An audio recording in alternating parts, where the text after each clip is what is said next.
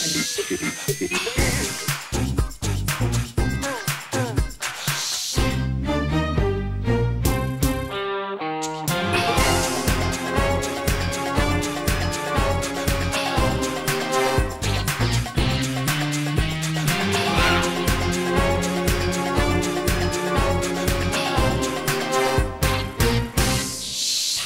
Bonsoir, désormais sur France 2, vous découvrez les stars comme vous ne les avez jamais vues. Grâce à cette oreillette, impossible pour elles d'utiliser la langue de bois.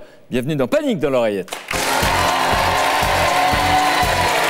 En deuxième partie soirée, vous allez découvrir deux invités. La première est une fille sublime qui a découvert la célébrité brutalement en devenant un soir Miss France. Depuis, elle a dû se battre pour prouver qu'elle n'avait pas seulement un physique, mais de vrais talents, et notamment celui de musicienne. Avant d'avoir la reconnaissance d'aujourd'hui, elle a dû surmonter de nombreux obstacles. Il s'agit de Mareva Galanteur.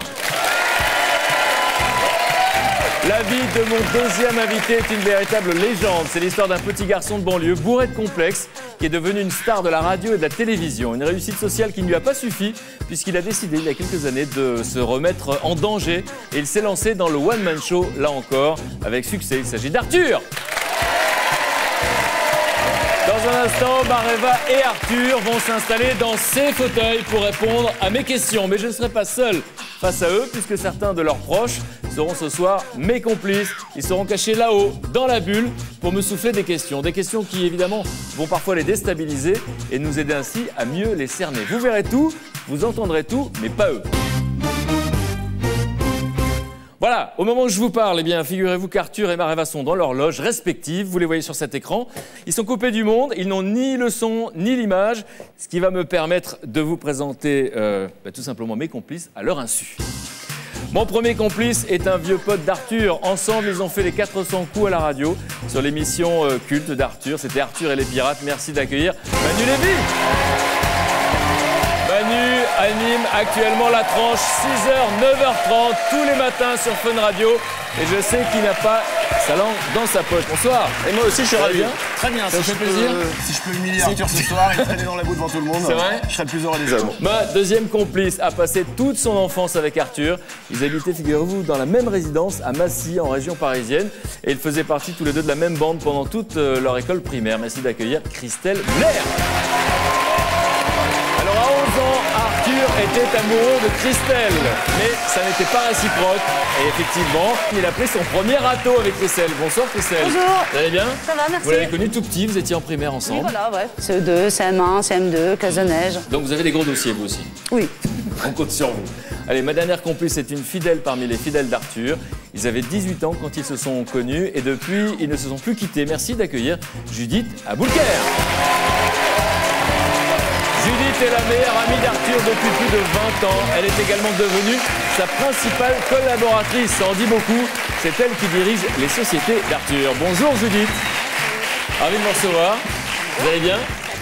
Allez, avant de rejoindre la bulle, je dois vous présenter vos nouveaux amis de ce soir, ceux qui vont partager la bulle avec vous. Ce sont des proches de Mareva Galanteur. Alors, ma première complice est une amie d'enfance de Mareva. Elles avaient 10 ans quand elles se sont rencontrées pour la première fois.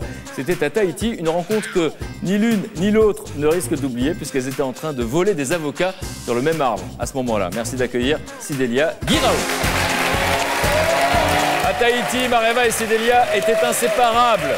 C'était des adolescentes Vous allez le voir qui passaient leur temps à faire des blagues et des canulars. Bonsoir. Ça va bien Vous l'avez connue toute petite, elle volait des avocats, c'est pas une blague. Oui, moi aussi, on était une bande de chippies. hein. Voilà, on va, on va le savoir dans un instant parce que votre enfance fait rêver a priori. On va voir si c'était vrai. En tout cas, vous avez connu Mareva, vous êtes une des premières. Alors, ma deuxième complice est également une amie euh, très proche de Mareva, mais elles ne se sont pas connues à Tahiti. C'était après, à Nancy, pour l'élection de Miss France. Elle était sa troisième dauphine et elles sont restées inséparables. Merci d'accueillir Célia Jourdain. Célia euh, était à l'époque Miss Bourgogne, donc une concurrente de Mareva. Et aujourd'hui, elles sont amies et elles travaillent pour la société Miss France. Bonsoir. Vous allez bien? Très bien. Merci et merci d'être là. Vous la connaissez bien depuis 10 ans maintenant. Depuis 10 ans. Vous l'avez vu euh, arriver à Paris un peu un indien dans la ville. Euh, C'est à peu près ça, oui. On va en parler dans un instant. Allez, mon dernier complice connaît Mareva depuis sa naissance. Ils s'adorent et euh, ils aiment passer du temps ensemble, que ce soit à Tahiti, mais aussi à Paris, parce que c'est grâce ou à cause d'elle, je ne sais pas, qu'il habite maintenant en métropole. Merci d'accueillir le petit frère de Mareva, Tamatoa Brugman.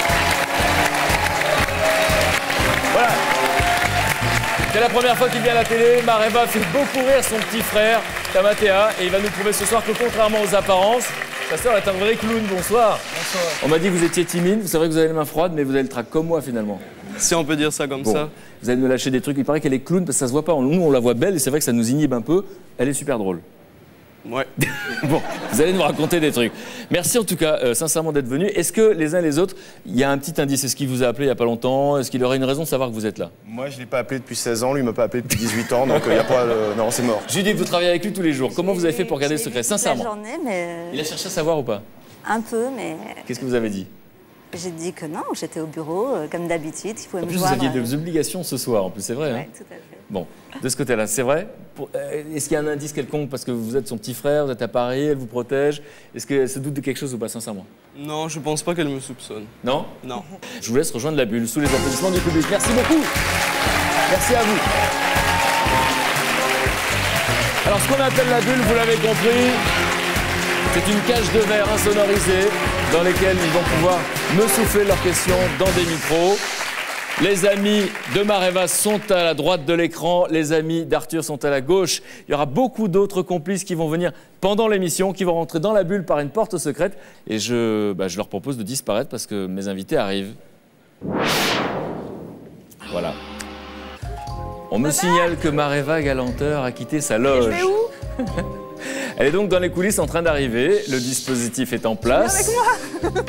Je ne sais pas qui elle essaie d'amener en plateau, mais ça nous donne un petit indice sur la manière dont elle est préparée. Donc, moi je l'ai eu au téléphone il y a quelques jours, elle m'a dit qu'elle avait le trac, elle était un petit peu tendue. Je vous propose dans un instant d'accueillir l'une de nos invitées ce soir, mesdames, messieurs, Mareva Galanteur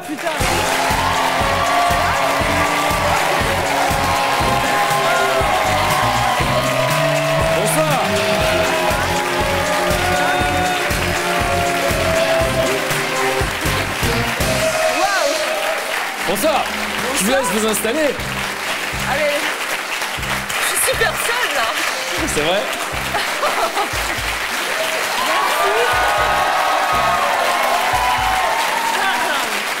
Bon. Waouh, waouh, waouh. Comment ça va Comment ça va? Euh, Bah, je suis un peu en panique, je dois dire. C'est vrai? Ça m'était jamais arrivé sur une émission de télé. Comment Puis en vous- plus, vous êtes derrière moi, c'est comme si on était dans un cabinet de consultation un peu bizarre. D'accord, Mais bon, enchantée. d'accord. Bon, vous êtes, vous sentez un petit peu seul Je me sens super seule. Alors, je crois que... Enfin, bon, heureusement que vous êtes là, mais bon, vous êtes super loin, quoi. Merci. Alors, pour la première fois, puisqu'on est en seconde partie soirée, vous allez partager l'expérience de Panique dans l'oreillette. Vous allez Ah. pouvoir échanger vos impressions avec un deuxième invité.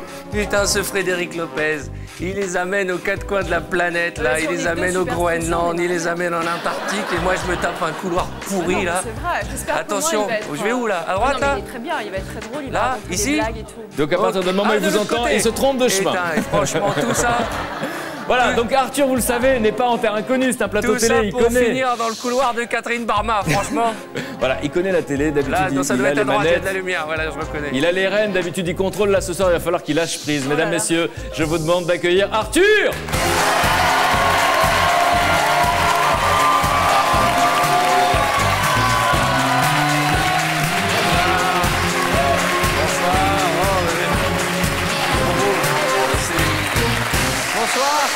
Arthur, ça va Je vous laisse. Bonsoir à tous. Ne vous faites pas avoir Soyez les bienvenus dans cette émission. euh, Je sais, vu d'en bas, on dirait Dick Rivers. Je te jure, euh, Frédéric.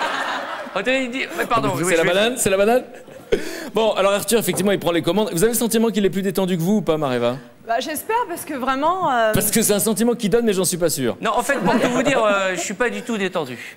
Parce que je ne supporte pas l'idée de ne rien savoir. Ouais, moi aussi. C'est de- ça m'énerve. On m'a juste dit il y aura marée c'est ça, c'est pour me motiver à venir à l'émission. Ouais. Mais pour le reste, l'idée de ne pas savoir qui est dans la bulle là Il n'y a pas moyen de, de monter Non, non, ça. non, non, non, non Il n'y a pas moyen de. À l'anti-jeu Arrêtez, c'est honteux. Le public vous pas juge. honte, bande de complices. Alors justement, je posais la question à angoissant. Vous parlez d'un stress. Est-ce qu'on peut l'expliquer au public qui n'a jamais pris cette place-là? Ça correspond à quoi ce trac?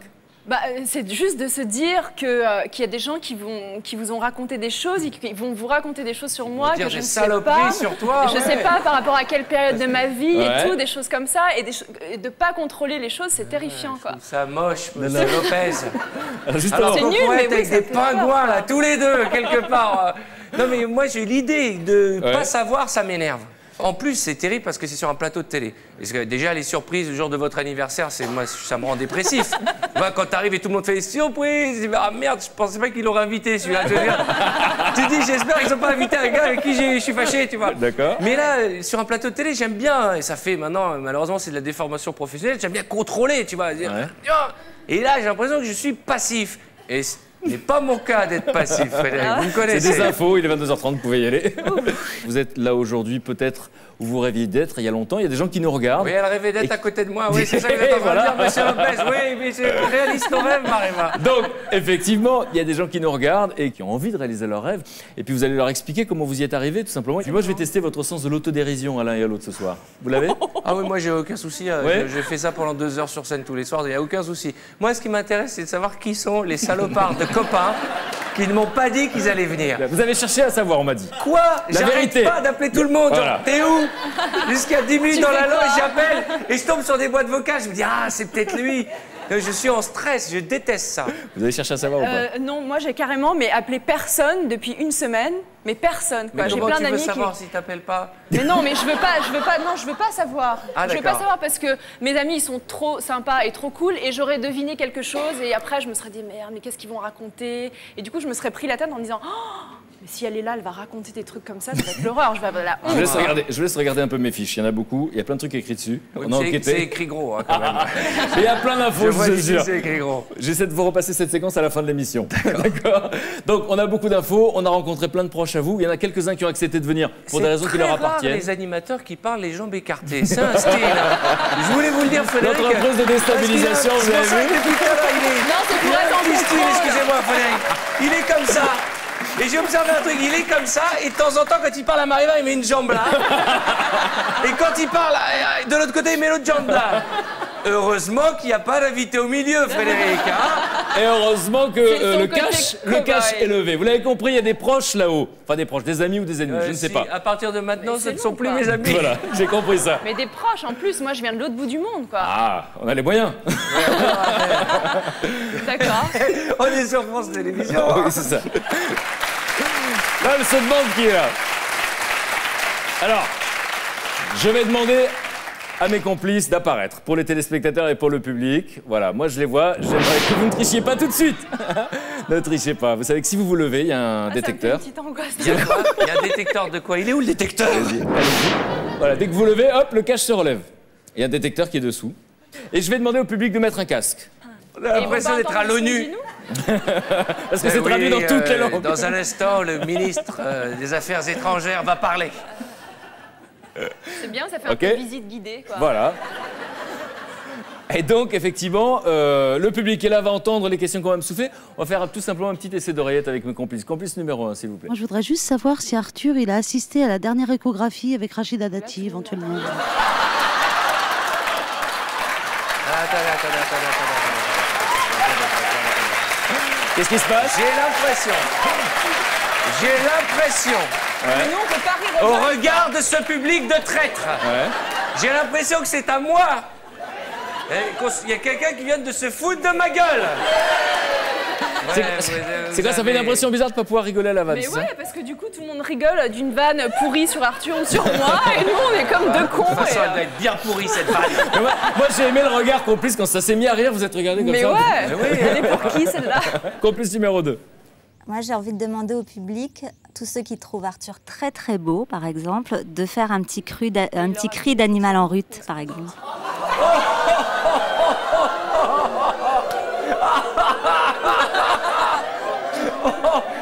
c'est sur toi, ça. Ah, si t'avais entendu ce qu'ils viennent de dire. Ah, j'ai chaud. Bah, vas-y, mets-toi à l'aise. hein. Allez, complice. Non, parce que ce que vous n'avez pas, c'est ces gens magnifiques, franchement. Oh, bah, euh, Serge Calfon, Momo, je sais pas, vous pouvez faire quelque chose non, pour les mais- non, mais, euh, téléspectateurs. ne faites rien, moi. Non, mais j'ai c'est- pas chaud des jambes là. Très, très joli. Ben, justement, ils étaient en train de parler de tes barésies. euh, Allez, complice numéro 3, s'il vous plaît. Oui, je suis là. Euh, il m'entend pas, Arthur, c'est sûr, hein Bon, bah alors, euh, son fils, en fait, c'est moi son père. Voilà. Je ne sais pas pourquoi, j'ai la sensation Ça qu'il y a deux sortes de rires. Ça s'appelle la paranoïa, ça. Il y a le rire sympa pour elle et le rire foutage de gueule pour moi. Complice numéro 4. Public, s'il vous plaît, est-ce que vous pouvez dire à Mareva bonjour, grosse mounette? Un, Deux, deux, trois. trois. C'est pas moi C'est pas moi C'est pas vous, quoi C'est On n'a pas moi. bien entendu Il y à a la télé. aucun de mes amis, encore vivant, Oh là là qui pourrait me surnommer grosse moulette. Parce qu'il y a la petite moule, mais la grosse moulette. euh, Alors, mouillette que-. Mouillette, c'est pas moi. Alors, c'est Oh quoi putain, la honte. C'était quoi Surnom pourri, quoi. C'est quoi le surnom J'ai pas entendu, moi. Merci, ma grosse mounette. Donc, c'est vous, ça, hein C'est chic. C'était vous Je suis très flattée, oui. D'accord, ok. Allez, complice numéro 6, C'est- s'il vous plaît. En hommage à Mareva Galanter, est-ce que le public pourrait se lever et faire une petite danse polynésienne? Putain, ça c'est pour moi. Oh là là, ça c'est Tahiti. Non mais moi je fais pas de danse Tahiti. tahitienne, vous allez pas m'embarquer dans un plan pourri comme ça, faire une danse et tout quoi. Parce que s'ils avaient fait comme ça, tu vois, j'aurais pu me dire, s'ils avaient fait tous comme ça, j'aurais pu penser, tu vois, euh, tu vois. Mais là, non, ils ont fait comme ça. C'est fou d'un geste, on peut définir quelqu'un. voilà. Bon ok, ça c'est pour Exactement. moi. Bon, alors avant de démarrer et, et de dire pourquoi vous êtes là et pourquoi vous êtes heureux, parce qu'on va parler de choses que vous faites en ce moment l'un et l'autre, est-ce que vous pouvez me dire très sincèrement en quelques phrases l'image que vous avez en début d'émission de Mareva On verra à la fin de l'émission si vous avez la même image et si vous avez appris des choses comme ça spontanément. euh, il y a deux images. Il y a Ouais. La première, il y a cette demoiselle euh, qui. Qu'a des barésies. qui, qui représente l'élégance à la française. Il est devenu Arthur. hein. Avec les- C'est un fan. Ah oui, ça c'est quelqu'un. Ok, d'accord. Je pense que donc il y a un salopard là-haut là. Ok.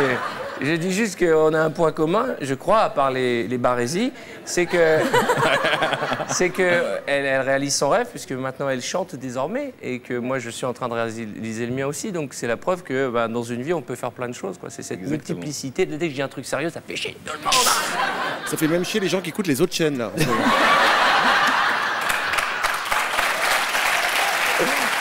En tout cas. Non, Vous avez même parce que j'aimais l'état dans lequel vous êtes là pour l'instant. C'est- le début, c'est le début, c'est fait dur parce exprès. que dans tous les sens, il y a le public d'un coup, il y a Arthur, il y a vous, il y a des gens derrière et tout. Ah, il y a Vous des gens derrière Des informations, euh, ça fait beaucoup. Ok, alors justement, on parlait de, cette sensibilité. Arthur l'a fait découvrir au public et à la profession, parce qu'on va en parler, parce que de loin, ça pourrait apparaître comme un caprice et on va voir comme c'était compliqué, vous étiez attendu au tournant et vous avez réussi le pari comme peu de gens l'avaient imaginé, très sincèrement. Et vous nous proposez votre deuxième spectacle. On voit d'abord un extrait, on en parle juste après Si, si vous voulez. comme Allez, vous voulez. un extrait, regardez. Je me baladais tout à l'heure en arrivant au théâtre et il y a une dame qui m'a reconnue charmante et qui est venue me voir et qui m'a dit euh, Ah, Arthur, je suis trop content euh, que, que vous soyez là et tout. En plus, je voulais vous dire, j'adore vos émissions de télé. euh, que quand elles passent, euh, j'apprends plein de choses, je me cultive. Ah, j'ai ah bon? J'étais flatté, tu vois. J'ai ah bon? Il me fait oui, quand vos émissions passent à la télé, j'éteins mon poste et je lis des livres. Ne me dites pas que vous n'avez pas connu cette situation. Vous êtes au téléphone avec un copain, une copine, vous êtes là, vous discutez, d'un coup vous dites bah, Je comprends pas, je trouve pas mon portable, dis donc, je le cherche. Et l'autre idiot de l'autre côté qui dit Tu veux que je t'appelle pour le faire sonner, comme ça tu sais où il est. Tu veux vider le sac d'une femme en moins de 10 secondes? Appelle-la sur son portable. Oh putain, on m'appelle. Ah non, mais moi, ma mère, je vous jure, je lui ai installé Internet, elle n'a rien compris. Pas plus tard qu'une semaine, elle m'a appelé, elle me dit au téléphone véridique Allô Jacques, c'est maman. J'ai besoin de te parler. Oui, maman, qu'est-ce qui se passe? Écoute-moi bien. Je crois qu'avec ton père, on est sur écoute. Mais qu'est-ce que tu racontes, maman? Écoute-moi. Il y a un dénommé Monsieur Spam qui m'a encore envoyé un mail pour allonger le sexe de ton père.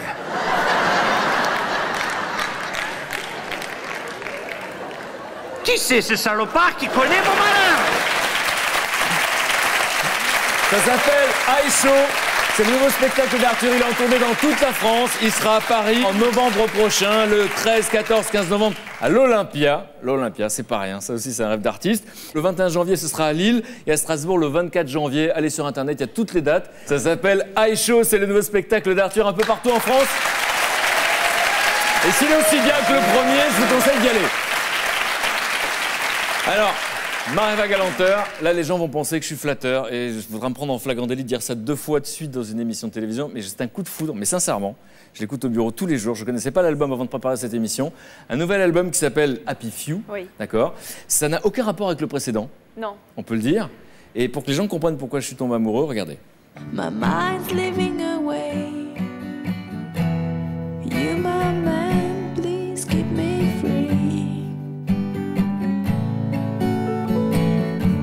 I feel so scared when I miss you.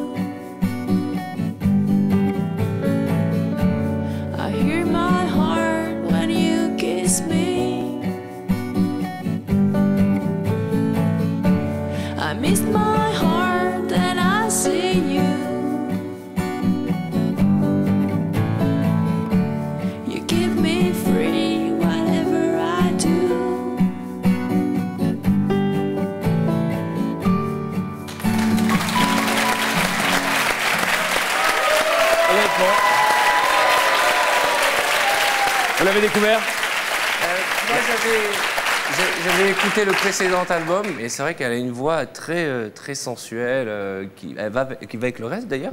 Et c'est très joli, c'est très doux et je, normalement, euh, moi, j'offre l'album à l'invité. Allez, c'est pour vous celui-là. Ça s'appelle Happy Few. On va en reparler tout à l'heure. Juste quelques mots. Le public va comprendre que ça se passe pas comme ça dans ce métier et qu'il a fallu beaucoup de courage pour euh, travailler avec des musiciens qui vous faisaient rêver, qui étaient à Londres, qui est un peu, un peu pointu. Et j'adore ce pyjama. Les photos. Je sais pas si est-ce que je peux aller la montrer le caméra, pyjama enfin, Oui, attendez, je vais montrer le pyjama. Regardez ce joli Et, pyjama. euh, et voilà. Avec et, des euh, petites peluches. Et jusqu'à la fin, c'est-à-dire que j'ai vraiment tout construit sur cet album. Et, euh, Et puis alors la critique est dithyrambique. Euh, Ça, ça doit vous faire plaisir. ah, mais ça, c'est c'est le plus grand bonheur. C'est juste. Waouh. Énorme, c'est énorme. Et moi, je voudrais dire au grand public, parce qu'il y a les branchés qui aiment bien, ça c'est une belle récompense quand on voit la reconnaissance de ses pairs. Oui, maintenant, Mais j'ai pour envie le grand partager, public, honnêtement, c'est la régalade. Vous pouvez écouter ça en voiture dans des paysages. C'est Merci. voilà, c'est très caressant, très sensuel, pour reprendre le mot. La régalade. C'est la régalade. Qu'est-ce que c'est que cette expression? Bon, j'étais sincère quand j'étais gentil. Maintenant, j'arrête d'être gentil. C'est parti.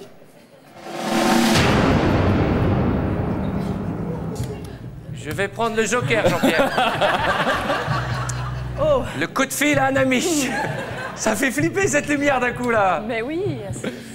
Arthur est super maniaque. Ah, on me dit que l'un de vous deux est très maniaque. C'est qui Sinon, l'un des deux est un homme aussi. J'adore, j'adore. Je sais pas. Non, on avoue quand même un petit Voilà. Ça nous fait déjà un deuxième point commun. Deuxième point commun. Les Alors, barésies et maniaque. d'accord. Alors, est-ce qu'on peut savoir à quel point Euh, je suis très maniaque euh, à à la maison, avec tout, avec moi-même. Euh, je crois que j'ai des tocs, je me lave les mains 150 fois par jour. Euh, Arthur ne supporte pas quand quelque chose dépasse sur son bureau. Oui. Il faut que tout soit très aligné. J'adore la tête là, mais c'est un- une- là aussi c'est la régalade. Euh, il paraît qu'il faut que ce soit très très très bien aligné sur votre bureau. Il paraît que vous ne pouvez pas démarrer une réunion si tout le monde, voilà, si tout n'est Oui, pas bien rangé. je- je pense que le stade euh, après, c'est la Psychopathe clinique euh, psychiatrique. là. Je, je- moi, j'ai les trucs là pour me laver les mains dix fois par jour. moi, j'ai des lingettes et, et mon bureau est super bien tout. rangé. Mon bureau est bien rangé parce que je ne peux pas travailler dans le bordel. J'aime pas quand quelqu'un vient chez moi, il bouge les choses et tout, ça m'énerve. hein. m'énerve. Je, je fais laver les mains de toutes les personnes qui rentrent dans mon bureau. Ok, est-ce que ça- cet objet là dit quelque chose à l'un de vous deux? Ah oui, alors ça, c'est. Je vous laisse aller le chercher pour nous Pourquoi expliquer. moi ça. Oh là là, Alors, oui, oh là pourquoi est-ce qu'il appelle ça une Ah, parce qu'il y a des mandoline qui arrivent sur le plateau, c'est ça? Alors, c'est un outil euh, sexuel. Figurez-vous. D'accord. En fait, ça, ça- j'ai jamais trouvé le nom. Je sais pas comment ça s'appelle. Moi, j'appelle ça la mandoline. On m'a dit que vous l'aviez rebaptisé, oui. Et le pire, c'est que c'est la mienne. C'est un appareil qui vous permet de faire des étiquettes. Parce que tout doit être étiqueté dans ma vie. Euh, oui, je sais, c'est grave. boîte, mes dossiers, dossier, mes boîtes. Son fils, il a mis le prénom de son fils sur le front. Voilà. Et donc là, je vais écrire un truc qui vous concerne, Frédéric, par exemple, et j'appuie. Dès demain, j'aurai Le la truc même va machine. s'imprimer. Voyez-vous, il y a un petit truc qui sort, c'est très. euh, Et voyez, Il est tellement maniaque qu'il est capable de remettre les tableaux en place sur les murs quand il va manger chez des amis qu'il ne connaît pas. On m'a dit que même, pour, dire- pour vous expliquer à quel point il est psychopathe, Et quand c'est il va... Et ça vous fait la petite pochette qui manquait voilà, à cette émission. Je l'avais vu venir Bon, Pour vous expliquer à quel point, on m'a dit que vous, alliez, euh, vous êtes allé un jour dîner chez des gens que vous ne connaissiez pas. Et avant de démarrer le dîner, vous avez remis le tableau en place. Oh oui, je sais chez qui je suis. Oui, c'était. Oui. Chez Gilbert Montagnier, forcément. Est-ce que c'est. Et, et j'étais invité à déjeuner et je ne pouvais pas passer à table. Tous les tableaux étaient comme ça, tu vois. Et à un moment, j'ai dit, c'était plus fort que moi, j'ai dit, excusez-moi. Et j'ai remis tous les tableaux euh, droits. Non mais c'est horrible, c'est chiant à vivre vraiment au resto. J'essuie mes couverts avant de dîner ou déjeuner. Mais j'amène avec mes propres couverts. moi. Avant la première du loft, il a passé l'aspirateur parce que le, le plateau du loft n'était pas assez propre. Est-ce que c'est vrai que, est-ce que c'est vrai qu'avant la première du loft, il y avait des millions de téléspectateurs, ça allait démarrer, c'était en direct. Oui. Deux minutes avant, vous étiez en train de passer l'aspirateur dans le loft. Alors, c'était- la grande émission, il y avait toute la presse, il y avait tous les journalistes, il y avait toutes les, tous les patrons de chaîne qui étaient dans, dans- dans cette petite pièce-là. Et puis d'un coup, juste avant, trois minutes avant l'antenne, qu'est-ce qu'on s'aperçoit Que la- l'aspirateur n'est pas passé et les lits ne sont pas faits. Et d'un coup, moi j'étais sur l'autre chaîne à l'époque, ok Et d'un coup, j'enlève mes chaussures, je rentre, je commence à passer à l'aspirateur, on est en train de faire des lits. Et les gars d'M6, on peut le dire, ils regardent l'écran et ils me voient moi dans le loft en train de passer à l'aspirateur. Mais c'est invivable, hein, on est invivable. Ah non, mais le pire, c'est mon pote Danny Mood quand il vient chez moi. Son grand jeu, c'est de faire croire qu'il a renversé quelque chose sur les canapés.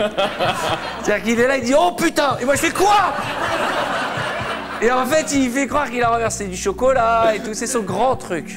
Ok, on apprend des trucs sur vous. Est-ce que ça dit quelque chose à l'un de vous deux Ça? C'est du Tahiti douche? J'ai pas le droit de dire la marque. Ma- Mareva se douche au moins 8 fois par jour, elle se lave les mains 10 fois par jour, c'est une horreur. Elle a une grande consommation du gel douche. Ah, je me lave trop moi, j'ai pas de jugement de valeur. On m'a dit 8 fois par jour. Ah, ça, c'est d'avoir une copine à moi qui disait vous raconter que je me lavais trop et que 8 j'ai- fois par jour, est-ce que c'est vrai Non, pas eu, elle est folle ou quoi? 8 fois, non, faut exagérer. Non, mais quand je suis arrivée à Paris, c'est nul. quand je suis arrivée à Paris, euh, je suis allée voir un dermato parce que j'avais la peau qui pelait et tout, ça allait pas du tout. Mais c'est horrible de raconter des trucs comme ça. Et, euh, et il m'a dit, mais enfin, ça va pas du tout, quoi. Vous êtes pas à Tahiti, c'est pas de l'eau de source, vous vous lavez trop, quoi. Il me dit, vous lavez combien de fois par jour? Je dis, bah, trois fois par jour. Il me dit, non, mais. Faut se calmer, l'eau est calcaire, faut mettre de la crème, enfin bon bref. Il a- dit d'arrêter de me laver. Donc j'ai affaire à deux psychopathes, on peut le dire ou pas? Putain, on est On grave. sait depuis le début. Dites au mec à côté de Mareva qu'il a un truc qui dépasse de sa veste, là. Il y a un col, il y a un truc. Vous fait remarquer qu'il y a un truc qui dépasse de votre veste et ça, ça pourrait vous énerver si vous l'aviez vu. Non, mais je sais Mais c'est sa tête. Hein. C'est pas vrai. C'est pas vrai. Voilà, c'est une vanne à la con, ça. Arthur, quand il était plus jeune, était complexé parce qu'il pensait qu'il manquait de culture générale. Donc il a pris pas mal de cours dans tous les domaines. Regardez pas comme ça. Est-ce qu'il y en a un de vous deux qui a pris des cours pour avoir l'air plus cultivé? Moi? Bah ça a pas marché. Hein. Pas pour avoir l'air. Ça vanne, ça vanne. Celui qui a dit ça n'a pas marché. Il y a quelqu'un qui dit ça Je suis ton père.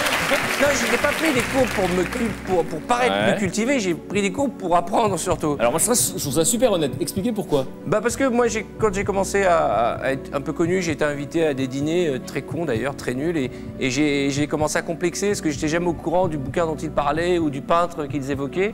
Et donc j'ai pris des coachs pour rattraper le temps perdu parce que moi j'ai arrêté les études après le bac et puis j'ai pas eu le temps vraiment de, de lire, de- de- de- d'aller voir des expos. Et j'ai voulu apprendre et notamment l'art et je me suis fait accompagner. Et Dieu merci, les gens ont eu la patience de m'expliquer, me donner l'envie d'aller plus loin. Et aujourd'hui, je pense que j'ai fait mon chemin. Mais c'est pas honteux de vouloir progresser. D'ailleurs, je le dis tout le temps, j'ai tous les bouquins qui finissent par pour les nuls. et bah oui, l'histoire de France pour les nuls. Bah tu t'aperçois que quand tu as lu toute l'histoire de France pour les nuls, tu en sais beaucoup plus que ceux qui ne l'ont pas lu et qui pensent pas qu'ils sont nuls. J'ai envie de vérifier. bien sa phrase ou pas là? Pas sur l'histoire de France. Allez-y, allez-y, J'ai envie de vérifier. allez-y. Test de culture générale. Allez, 1515, Marignan. mais c'est encore mieux que ça. Le spécialiste en France, il est là en vrai, mesdames, messieurs, Julien Lepers.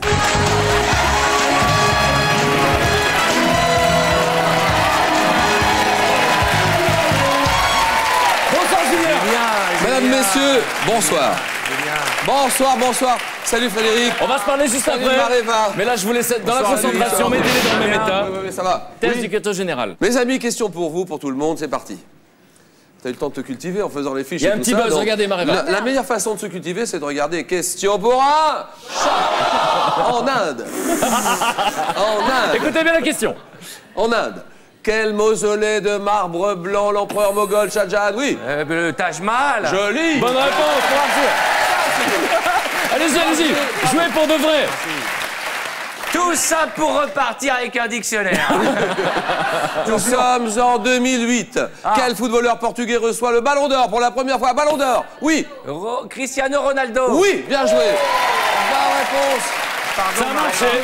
Allez-y, allez-y, allez-y. Cristiano Ronaldo. Voilà, je vais avoir l'encyclopédie. J'annonce à Maréva que le jeu est commencé. Quel personnage de journaliste Quel personnage de journaliste créé en 1884 par Maupassant? Et le type de la riviste réussissant par les femmes Oui, Maréva Oui Georges Duroy, dans Belle Amie, non? C'est Belle Amie, exactement. Bonne Oui, oui. réponse. C'est Georges Duroy dans Belle Amie. Oui. Bravo. Georges Duroy dans Belle Amie. Eh ben ça, je ne le savais pas. On continue. En 2003, dans quel pays issu de l'ancienne URSS la révolution des roses a-t-elle eu lieu? L'Ukraine. C'est pas l'Ukraine. Non, non. Ce n'est pas l'Ukraine. C'est trop tard, Bien c'est trop tard, La Arthur. Géorgie. Que dit Mariva La Georgie. C'est la Géorgie, exactement. oui, réponse. Je ne savais pas. Je me suis trompé de couleur. La mauvaise foi. L'Ukraine, c'est orange. Exactement, la révolution d'Ukraine, c'est orange. Bonne réponse, ils sont à combien tous les deux? 2-2, je crois. Deux, deux. Quel lauréat du prix Nobel de physique en peu. 97 a été choisi par Barack Obama comme secrétaire à l'énergie? Moi- Secrétaire à l'énergie. Ficus try.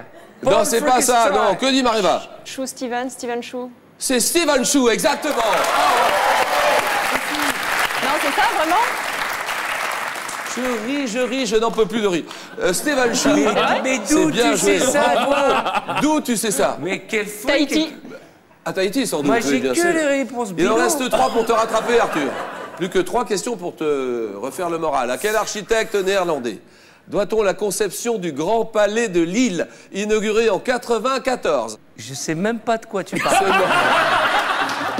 C'est trop tard. Que dit, que dit C'est, Maréva euh, C'est un nom super bizarre, Oui. avec des H et des K. Exactement, Colas, oui. Colas, Oui. Coula, Calas, Colas. Oui, cool casse, exactement. Bonne réponse. Bonne réponse de Maréva, je regrette. Moi, je dis. Quel savant. C'est une bonne leçon pour ceux qui se foutent des Miss France. Vous exactement. connaissez le mec là d'Ikea, là, le Non, mais- gars que J'avais jamais entendu parler. Non, il faut que tu répondes au moins aux deux qui viennent là. Quel savant grec de l'école d'Alexandrie fut le premier à évaluer la circonférence de la Terre grâce à la mesure d'un arc de méridien. C'est une arnaque. Comment c'est une arnaque? Nikos? C'est du- C'était la réponse d'Arthur. Que dit Maréva Tu sais pas? Non, visiblement non. Il dit Nico, c'est pas ça. Que dit Vas-y, Maréva donne la réponse. Eratosthène. Attends, Eratosthène, exactement. Ouais Bien joué. Non, mais après, on gagne des cadeaux Mais qu'est-ce que tu fais Non, mais est-ce que j'ai droit à un Qu'est-ce qui se cadeau passe, ou pas Arthur Une arnaque. De quoi Eratosthène, c'est bien joué, elle a Oh. raison, Maréva. Alors la dernière Il n'y a réponse. pas une question où la réponse c'est Casimir. Ou la dernière. Un truc de ma culture. C'est Y a la un dernière truc pour question. moi. Si celle-là, tu l'as pas, là vraiment, il y a un problème. Nous sommes Écarte les jambes, vas-y, écarte les jambes. en l'an 9. Quel général romain, devenu légat en Germanie trois ans plus tôt il s'appelle le gars Attends, laisse-moi Euh, terminer la question. Laisse-moi la terminer. Devenu légat en Germanie trois ans plus tôt. Vois, regarde comme elle réfléchit. Et je vois ses troupes anéanties par celles d'Arminius dans la forêt de Teutobourg. Je vous écoute. Vas-y, Arthur. Vas-y. Ast- Astérix. Non, c'est non. Ce n'est pas Astérix. Que dit Maréva Galanterre Varus? C'est Varus, exactement Ah oui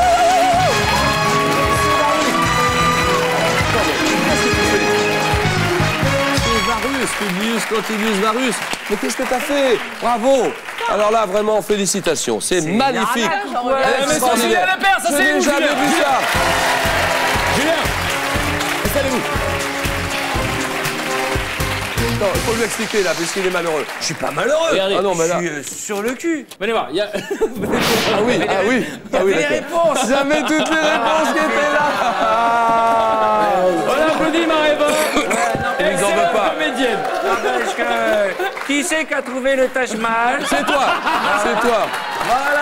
C'est vrai, c'est vrai. Voilà. Qui c'est qui a trouvé Cristiano Ronaldo?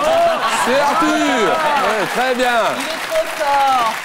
Ah Vous n'avez pas deviné tout de suite que c'était Non, truqué c'est à partir de Unche Klein, le suédois. Là, tu t'es dit. Là, je me suis dit, le gars, là, si Là, elle il y a un sait problème. ça, Oui. c'est que ça va pas. Et après, j'ai commencé à regarder si elle avait pas une oreillette, tout ça. Rien de tout ça, ou en tout cas pas dans les oreilles. Et. Monsieur Lopez, ne riez pas de mes bêtises. Et, et donc voilà, mais euh, et pourquoi pas d'ailleurs Non, tu l'as bien pris, bravo Arthur. En tout Bon, cas, il a bien et, pris. et- et voilà. Bon, moi, je vous remercie sincèrement d'avoir accepté l'exercice et l'autodérision. Eh, les amis. Et je voudrais remercier Voilà, oui. le vrai Julien Lepers qui a accepté de jouer le jeu. Julien Lepers qui sera le 5 janvier à 20h50 pour Non, une spéciale non, junior, la non, finale. Non, 20h35. 20h35. Oh là là là là, le monde entier en parle en ce moment. C'est le premier jour. Les programmes sans publicité. C'est le lundi 5 janvier Voilà. à 20h35. Et ça, c'est sur la 3 et sur la 2, il y a rendez-vous 50. au terrain connu, le Oui, 5. oui, mais c'est la 35. Excusez-moi, à Merci bientôt. À bientôt, Merci au revoir. Merci beaucoup.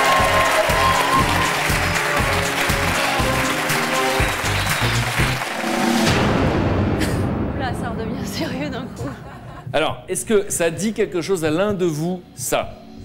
C'est dans votre tête. Arthur a été le mec le plus flippé de la grippe aviaire en France 15 ans avant qu'elle arrive en France. Alors, Arthur, allez-y, c'est peut-être pour vous. Je- J'en ai à peu près euh, en boîte 600 chez moi. C'est vrai? Oui, parce que je pense que la grippe du poulet va venir. Et j'ai tout l'équipement de survie de la grippe du poulet. Donc j'ai le médicament qui va avec. Il croit qu'en fait les poulets ont des mitraillettes et tout, hein, lui. hein. C'est horrible, cette situation est terrible. C'est vrai, c'est. Tu parles et les gens se foutent de ta gueule. Je suis en train d'annoncer qu'on va peut-être mourir de la grippe mourir. du poulet. Ils sont là. Est-ce que, est que cette photo dit quelque chose à l'un de vous deux? Regardez. Parce qu'on parle de la peur, là. On parle de la peur de mourir, on parle de... Là, je suis en train de passer pour un mec qui est hypochondriaque, qui a peur dans l'avion, qui est maniaque, qui se lave les mains 12 fois par jour. Et c'est vrai que j'ai peur de la mort. Et qu'une fois, je suis allé à un concert de Villette Farmer et elle jouait, elle chantait sur des tombes. Et, et tout le monde chantait nanana. Et moi, j'ai- peur, j'ai une peur phobique de, de la mort. Vous, vous n'auriez pas pu être pote à l'adolescence avec Mareva. Merde, qu'est-ce que, tu fait faisais, Maréva Qu'est-ce que tu faisais comme horreur Tu tuais des gens? On passait notre temps dans les marais, un cimetière euh, qui se trouve dans la forêt à côté de chez nous. Il paraît que vous passiez votre temps dans les marais. Qu'est-ce que c'est les marais? Ah, euh, c'est à. Tahiti. Ce sont des, euh, des endroits avec des petits murs en cailloux, comme ça, où on faisait des sacrifices. euh, Pas à notre époque, Tu vois, j'étais en train de t'apprécier. euh, il y a très longtemps, ouais. On était assez, euh, assez dans le sombre. On faisait des blagues téléphoniques et notamment une fois, on a téléphoné à un monsieur croque-mort pour euh, lui faire croire horreur, que, que le mort en question dans son cercueil n'était pas content du service. Alors, on vient de me raconter un truc énorme. Il s'appelait Monsieur Chang. Vous, vous avez... Vous, il paraît que vous avez terrorisé un jour un monsieur qui était euh, croque-mort, comme on dit, à Tahiti, au téléphone, c'était une blague. Et vous l'avez fait croire quoi? Je crois qu'on avait enregistré euh, sur un magnétophone des, des- des voix, des bruits, Un des choses bizarre. comme ça, un peu bizarre. On l'avait appelé. Non mais j'ai une copine qui est une super scénariste, elle montait des scénarios comme ça, elle m'entraînait dans ses plans. Ouais, C'était Euh, pas vous. Comment et elle commence à se défausser Expliquez l'histoire. Qu'est-ce qui s'est Et passé donc je crois qu'on avait appelé euh, Et elle a dit, euh, on je avait suis dit dans qu'on le n'était pas venez me chercher. C'est pas loin, c'est pas loin. qu'on n'était pas content de l'enterrement, genre qu'on était mort et qu'on n'avait pas été content de notre enterrement, donc on revenait, qu'on allait le menacer ou je sais pas quoi, et on devait mettre des bruits comme ça. Le pire, c'est qu'on a rappelé trois fois. Notre enterrement était Vous nul. l'avez harcelé, le monsieur, vous l'avez appelé trois fois, on me dit. Ah ouais, trois fois. Eh ben, on l'a- on l'a retrouvé. On l'a pour toi. retrouvé, mesdames, monsieur, monsieur Chang, applaudissements.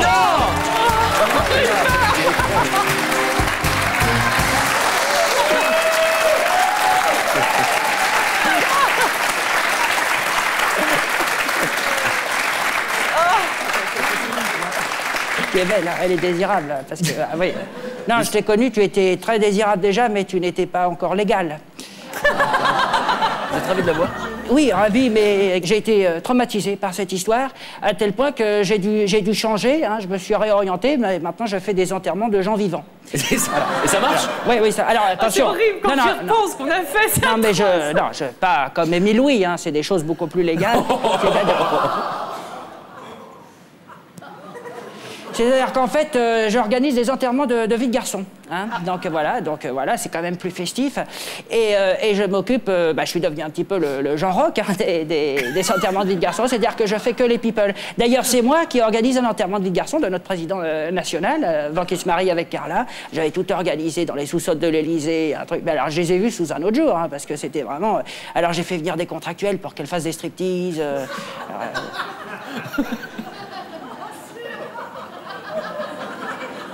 Alors là, pour une fois, c'est elles qui ont pris les PV, évidemment. Et puis, euh, et puis, alors, je les ai vus sous un autre jour, avec Xavier Darcos, attaché, qui se faisait fouetter. euh, Alors, il y, en a, y en a un qui m'a étonné, c'est, euh, comment il s'appelle, le rougeau, là, Brice Hortefeux. Ouais. Parce que déjà, ouais, non, mais c'est vrai, il est rouge, habituellement. Mais là, avec l'alcool, il devenait rouge vermillon. hein. il était... non, non, il, il est, ça, ça nous éblouissait, à tel point qu'on a été obligé de lui mettre un abat-jour sur la tête. Et puis il y avait aussi, euh, euh, j'avais prévu large en alcool, mais quand Borloo est arrivé, ça a fondu comme neige au soleil. Il n'y avait plus rien.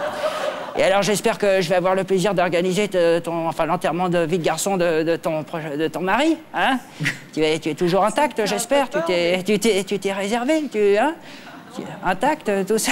Qu'est-ce, que- qu'est-ce qu'il y a? Tu ne, te, tu ne te sens pas bien Monsieur Chang, Oui. la braguette. Oui, c'est vrai. Merci beaucoup. Euh, je suis très heureux de, de t'avoir vu. N'hésite pas hein, à me faire des blagues quand tu veux, parce que ça sera évidemment l'occasion de. Mais Pourquoi les gens qui sont là écartent les gens, mais pas les gens qui sont là? C'est quand même, c'est quand même dommage. J'aimerais qu'on applaudisse Jonathan Lambert d'abord. Jonathan le vrai, le vrai. Alors, le vrai Monsieur Chang nous regarde peut-être, hein, donc euh, on le salue, c'est votre caméra. Parce qu'elle a vraiment terrorisé hein, Monsieur Chang, elle l'a harcelé, etc. Et donc on avait l'info. Jonathan Lambert, c'est pas par hasard s'il est là, c'est que je crois que vous êtes un peu fan de lui. Ouais, Vous confirmez? Ouais, je suis super Qu'est-ce que vous aimez en lui? Dites-lui dans les yeux. Après ça, mais si t'enlevais tes lunettes et tout, je serais peut-être. Non, je rigole. Non, je suis très fan et, euh, et on s'est rencontrés euh, il y a 10 ans quand je suis arrivée à Paris. C'est vrai. Et je crois que tu as fait mon premier sujet, ma première interview pour une vrai. émission. Oui, tu m'avais suivi. Euh, J'ai les images interdites. Moi, j'ai les des images interdites Non, c'est vrai, je l'avais vue à l'époque. euh, j'avais parié sur elle. Pour moi, c'était. euh, J'avais dit au putois, là, à Geneviève de Fontenay, là. Non, excusez-moi, c'est les mêmes codes couleurs, c'est pour ça. J'avais dit, vous verrez, la petite, là, c'est elle, c'est elle, j'en suis ouais, sûr. on s'est connus Et on s'est connus. 10 Et même quoi. le dernier jour. Ouais, tu m'avais suivi tout le dernier jour. très Donc, j'ai connu, je l'ai suivi toute l'année de son sacre. Elle était belle, euh, simple, tout ça, vraiment euh, formidable. Tu vois, Bon, je- en tout cas, moi, ce que je voudrais dire, c'est aux Ouais. téléspectateurs, il y a deux choses. D'abord, il y a un DVD euh, de tout ce que vous pouvez voir chez euh, Laurent Ruquier le quoi, samedi soir. Jonathan Lambert n'est pas couché, Ah, bien, qui est en vente en ce moment, avec Ouais. tous les personnages que le public adore. Donc, on peut l'applaudir pour ça, parce que c'est beaucoup de travail. Et il remet son titre en jeu chaque semaine. Et c'est un exercice très difficile. Et puis, vous pourrez le voir en vrai, si vous venez à Paris, c'est du 30 décembre au 3 janvier. C'est au Bataclan. Et en ce moment, vous êtes la première partie de Ouais, Franck Dubos. ouais, c'est vrai aussi, c'est vrai aussi. Merci sincèrement d'être venu. Jonathan Ouais. Lambert, mesdames, messieurs Merci.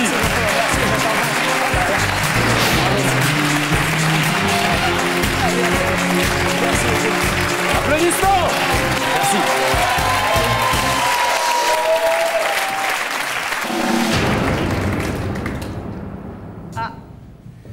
C'est pour toi. Non, non, non, c'est bon. Alors, Monsieur Chang n'est pas venu, le vrai n'est pas venu. Mais il y a un petit garçon qui était à l'époque qui s'appelait qui s'appelait Grégory qui aurait pu venir se plaindre. Oh, Grégory, oh là là. Qu'est-ce que vous lui avez Grégory. fait Qu'est-ce qu'on lui a petit fait Grégory comme malheur Non, c'était on était trois copines et c'était un, un de nos super copains. Ouais. Et, euh, et il nous adorait, quoi. Mais vraiment, euh, c'était comme notre frère, mais on lui faisait les pires plans, les trucs les plus pourris. On partait en pique-nique, on lui faisait les pires sandwichs, on lui mettait des trucs dégueulasses Que dedans, du piment, plein tabasco, de- des plein de tonnes. piments, des trucs, mais on était vraiment horribles. Mais il adorait ça, il était super content. Maréva l'obligeait à la porter sur son dos pour aller jouer avec lui. Vous lui demandez de vous porter sur vos... Voilà, vous disiez, voilà, tu dois me porter sur ton dos pour se promener, par exemple. Il le faisait. Moi, je veux savoir si vous, allez, 10-11 ans, quand vous étiez amoureux, comme ça, vous auriez pu faire des choses comme ce, ce- ce garçon. Vous étiez amoureux de qui à 11 ans? La brouette? J'ai découvert ça beaucoup plus tard, Frédéric. Vous étiez amoureux de qui à 11 ans vous? À 11 ans, il était un petit peu amoureux de moi et je crois que je suis son premier râteau. Mais je... J'ai été souvent amoureux de, de copines de classe, mais Ouais. rien ne s'est passé. Ça n'a jamais marché, Donc, ouais. euh, de manière platonique, j'ai été très amoureux d'une fille qui s'appelait Christelle à l'époque. De quel Qui- âge? Ouais, vers 11 ans à peu près, qui- Christelle là. Muller. D'accord. D'ailleurs, je profite de l'occasion pour te dire, bah, tant pis pour toi.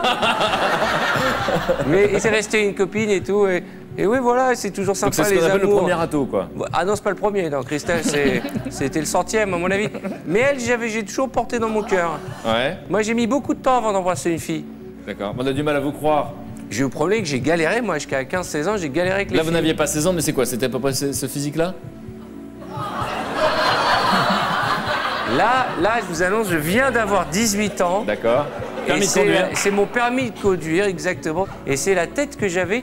Mais je préfère avoir eu cette tête avant et m'être amélioré que l'inverse. Mais bon, je, bah, je suis pas moche non plus.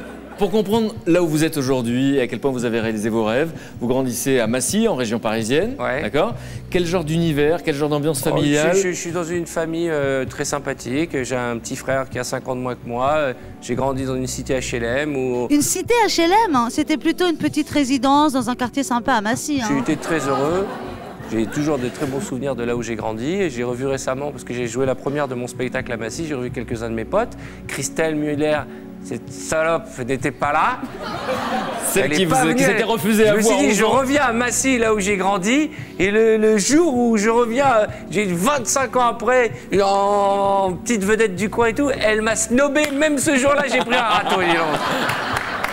Christelle, si vous nous regardez. Est-ce que vous rêviez déjà de faire ce que vous faites aujourd'hui? Vous rêviez de télévision à 7-8 ans ou pas? Non, franchement, non. Euh, j'ai- rêvé de faire de la radio parce que j'étais un mec très solitaire, un enfant très seul. Donc j'écoutais beaucoup la radio, le poste à l'époque euh, dans ma Ouais. chambre. Et c'était mon rêve de faire de la radio. Mais la vie que je mène aujourd'hui, si on me l'avait proposé, je n'y aurais même pas cru à l'époque. Donc j'ai eu beaucoup de chance. Vous assistez quand même à des émissions de télévision, il y a une image de vous magnifique. Vous avez quel âge à ce moment-là? Vous êtes derrière Patrick Sabatier. regardez Oui, je cette sais, photo. ouais, ouais, ouais. Il y avait une sortie. euh, D'école? et Je crois que c'était l'école et on est allé voir les visiteurs du mercredi. Et c'est mon premier passage à la télévision. Alors, vous voyez, je fais rien. Je suis derrière Sabatier et euh, je m'en fous de lui. Vous avez vu, je regarde déjà les caméras et tout. Et, et- et- et quelque part, grâce à Patrick Sabatier, je suis là aujourd'hui puisque c'est là où j'ai attrapé le virus. Je me suis dit, moi aussi, un jour, je voudrais faire de la C'est télévision. la première fois sur un plateau télé à ce Ah oui, moment-là. je crois que c'est la première Vous découvrez fois. tout ce qu'on voit ici, Et les coulisses. surtout, j'ai vu Casimir. mais vous vous marrez, mais à l'époque, nous, c'était du noir et blanc. Donc c'est la première fois que je voyais que Casimir, il était en orange. Il était quand même déjà un petit peu gentil parce que son rêve de gamin, c'était quand même d'acheter une, ma- une maison à sa maman. C'est ça. Oh, C'est très joli ce qu'on me raconte. Euh, vous grandissez dans, dans cet endroit, on a compris l'univers. Euh, c'est quoi les rêves justement à ce moment-là? Moi, le seul rêve que j'avais quand j'étais môme, c'était de, de partir très vite de cette banlieue et d'aller à Paris et de gagner suffisamment de sous pour prendre mes parents avec moi. Voilà, et d'offrir une maison à mes parents. C'était ça mon rêve. Ça, c'est quelque chose de formulé à l'époque déjà.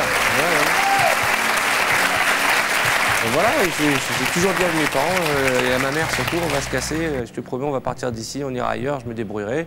Et puis je suis parti travailler. Parce qu'aujourd'hui, on, on retient toujours la vie qu'on a aujourd'hui dans les médias. Mais aujourd'hui, j'ai 42 ans, moi j'ai commencé à travailler, j'avais 16 ans. Mais de 16 ans à, on va dire, à 25, 26 ans, personne ne savait ce que je faisais. J'ai galéré, j'ai fait mille un petits boulots, je m'en plains pas. C'est comme ça que je me suis construit. Mais c'était mon rêve, voilà. Et, j'ai pu réaliser ce rêve. Et je suis sûr que tous les gens dans ce public, et, même les gens qui vous regardent ce soir, s'ils avaient un rêve à réaliser, je pense que ça serait peut-être de mettre leurs parents à l'abri et leurs proches euh, à l'abri du besoin et s'occuper d'eux comme eux se sont occupés de moi. En tout cas, on nous confirme que c'était vos rêves de l'époque. Alors, j'allais dire au même moment, c'est vrai que c'est pas la même période, mais au même âge. On essaie d'imaginer votre enfance, on a plein de clichés en tête, évidemment. Tahiti, Ouais.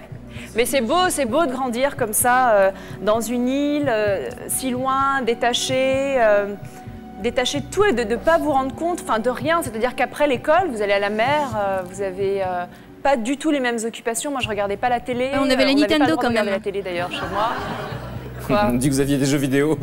Ouais, alors ça, bah, ça c'était la révolution parce que je m'étais alliée avec mon frère parce qu'on se détestait avec mon frère qui était juste après moi. On s'engueulait tout le temps et un Noël, on s'était alliés tous les deux pour avoir un, un Nintendo à Noël. Et on a joué, j'aimais jouer à Mario pendant des siècles. Bon. Et elle joue toujours sur la Game Boy. hein. me dites que vous y êtes toujours, hein Non? Vous avez un peu arrêté? Non. Bon. Elle ment. Vous étiez.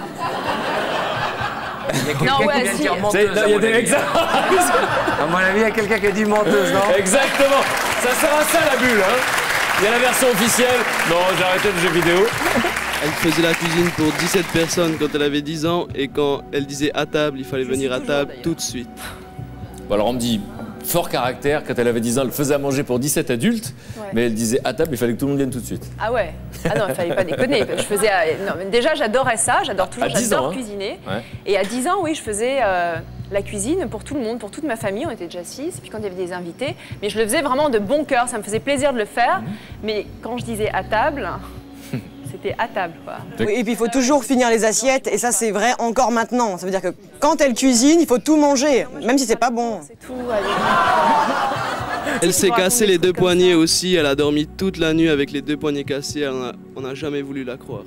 Alors c'est ça, c'est tellement fort caractère qu'on vous croit pas, et qu'un jour vous cassez les poignets Ah ouais. et on vous croit pas. Ah ouais, mais ma mère aussi, elle est très spéciale. C'est-à-dire que ma mère euh, ne, ne croit jamais rien. En fait, pour attirer son attention, parce que ma mère est aussi genre super dure et tout, très gentille, mais je voulais à chaque fois, alors je faisais la morte dans le, dans le couloir, je me mettais comme ça, genre je suis morte. Mais elle m'enjambait, quoi. Tu sais, c'était pour avoir de l'attention, genre maman, j'ai un truc, elle m'enjambait. Et, euh, et euh, donc je faisais plein de trucs de comédie. Je faisais la comédienne, je racontais n'importe quoi, j'ai mal et je souffre. Et du coup, elle ne me croyait plus du tout. Et un jour, je suis réellement tombée d'un arbre parce qu'on joue dans les arbres à Tahiti, et je me suis cassé les deux poignets, mais les deux en même temps. Et, euh, et puis ma mère a fait non mais ça va quoi, tu mets tes bras sous l'eau, ça suffit. euh. Et, euh, et j'ai passé une nuit entière chez moi. Elle n'a pas voulu m'amener à l'hôpital avec les poignets cassés, et j'ai vraiment j'ai souffert quoi. Et c'est mon père qui a eu pitié de moi le lendemain matin qui m'a amené à l'hôpital. Je suis rentrée avec mes deux plâtres comme ça. Je dit, t'as vu quoi. Alors, ce que je veux comprendre, c'est qu'aujourd'hui, Tahiti, vous n'y êtes pas. Est-ce que vous avez gardé des contacts avec des copines là-bas, euh, sur place, qui, euh, elles, sont au soleil en ce moment euh, J'ai toujours plein d'amis à Tahiti, ouais, bien sûr, qui me connaissent pour qui je suis réellement, qui n'ont aucune image de moi, aucune, a, aucune a, priori, aucune appréhension, et euh, qui m'aiment vraiment pour qui je suis. Quoi. Et Il y en a qui viennent entre Paris et là-bas, il y en a qui ont la chance d'être là-bas. Petit message de là-bas. Yorana Mareva, bon j'ai pas pu être là ce soir, je suis au Fénois sous le soleil pour les fêtes, Euh, je te laisse avoir froid toute seule. Sympa. Euh, je ne pourrais donc pas parler de notre hold-up en Californie, rendez-vous au Nouveau-Mexique pour ça. Par contre, j'ai avec moi le manuel géant des castors juniors, avec quelques petits plans de drague pour allumer ces garçons. Est-ce que ça te dit quelque chose? Bon, bon courage pour t'expliquer, je t'embrasse, à bientôt. Alors là, j'ai rien compris. Dans les castors juniors, on vous dit comment draguer. Oui, il semble que dans la partie...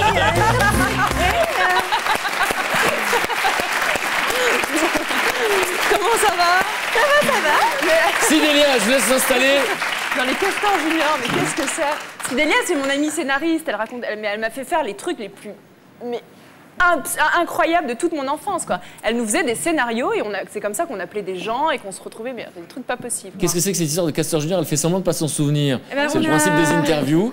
On a des petites notes. Ouais. C'est mon écriture? Donc rappelez-nous quel âge vous avez. On a peut-être là 13 ans. D'accord. Putain, mais j'ai aucun souvenir de ça. Et donc Ouais. on notait, euh, parce qu'on avait monté un club archéologique quand on avait découvert le marais pour découvrir les, Goonies- les, les trésors, parce qu'on avait vu les Goonies et qu'on voulait faire pareil. Ouais. Ah oui, c'est vrai, oui. Et donc on avait tout un tas de, de plans. Et dans ces plans-là, il y avait aussi des plans de drague. Euh, tu noies un garçon et tu lui dis Oh, excusez-moi, je vous ai pris pour quelqu'un d'autre. Tu rigoles et tu entames la discussion. On était petites euh. Mais incroyable. Et donc, elle m'embarque. C'était, c'était ses idées. Voilà. Elle m'en, non, elle m'embarque ça dans des fastoche. En tout cas, Mais c'est incroyable. vous étiez, euh, vous étiez à fond, c'est ce qu'on constate On était hein, donc à l'époque. ouais, ouais, et, à fond, euh, ouais. et donc euh, vous l'avez connu avant euh, la lumière, avant la célébrité, avant, la- avant Ouais, le on allait manger du chocolat sur les toits de la troisième, la de Céline, la petite Ouais. blonde, sur les toits. Et puis on, Australie. on essayait de voir si on voyait des extraterrestres. Voilà, on était Oh là là. charmantes, on, on pensait draguer, donc on, on se mettait au maximum à notre avantage. Bon. Mareva savait déjà que les fesses attirent les hommes. Et... Oh là là là. Voilà une info. Merci beaucoup Sidélia, merci à vous. Chapeau aussi.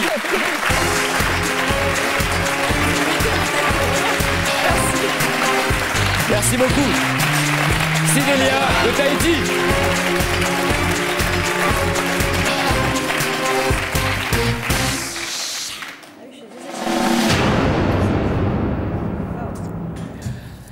Nouveau complice qui, qui nous a rejoint. Bonjour. Bonjour. Vous allez bien? Super. Ok.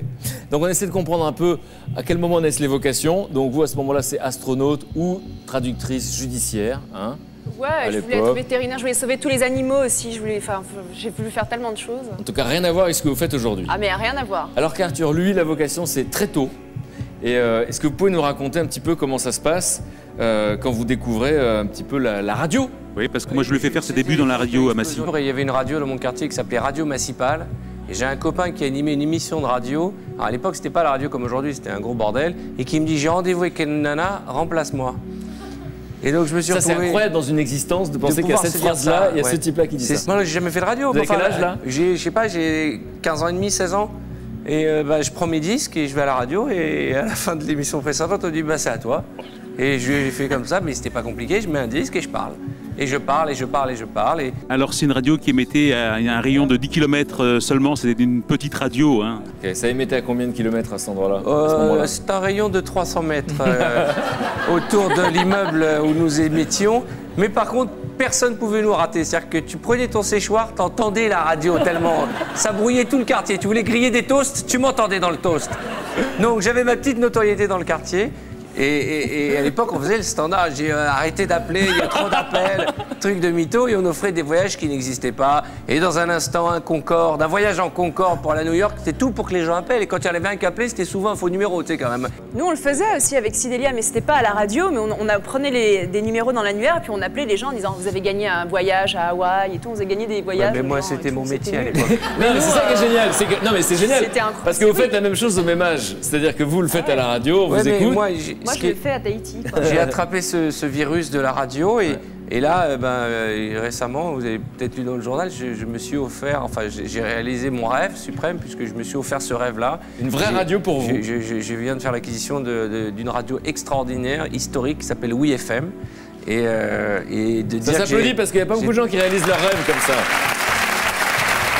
Et, euh, et c'est, c'est- pour moi, c'est un truc, euh, je ne vais pas vous parler des heures là-dessus, mais c'est extraordinaire de me dire j'ai démarré. Ah tu t'appelles Arthur alors que tu t'appelles Jacques. Mesdames, messieurs, Thierry Bismuth. Thierry. Thierry Bismuth. Alors expliquez-nous qui est Thierry Bismuth. Expliquez-nous C'est un qui est cinglé. Qui est Thierry Bismuth Moi, j'avoue, tu n'as pas changé. Un, un petit peu de poids peut-être encore Thierry Qui est Thierry Bismuth, si on a grandi à, à côté, euh, à Massy. Euh, et, et il avait monté une affaire, tu te souviens Couscous, c'est nous. Que- Parce qu'il y avait Coucou, c'est nous de, alors, de Coucou, Chavannes. c'est nous, j'ai Alors, fait il nous Couscous, dit je vais lancer le couscous à domicile. Et les gens livraient des pizzas, il a dit je vais livrer du couscous parce que Thierry Bismuth est d'origine suédoise. Voilà, comme toi, Et pareil. donc il avait monté couscous, c'est nous. Et alors On comme avait ça marchait ça. pas, il mangeait tous les couscous. Ah, mais- va, Et la super, radio fait un va bien, tout le monde va bien Oui, super, je te remercie, génial, ça me fait super plaisir. Toi, moi je te vois Faut faire attention, il va manger Arthur, le mec. Combien de temps qu'on s'est pas vu À la télé, je te vois.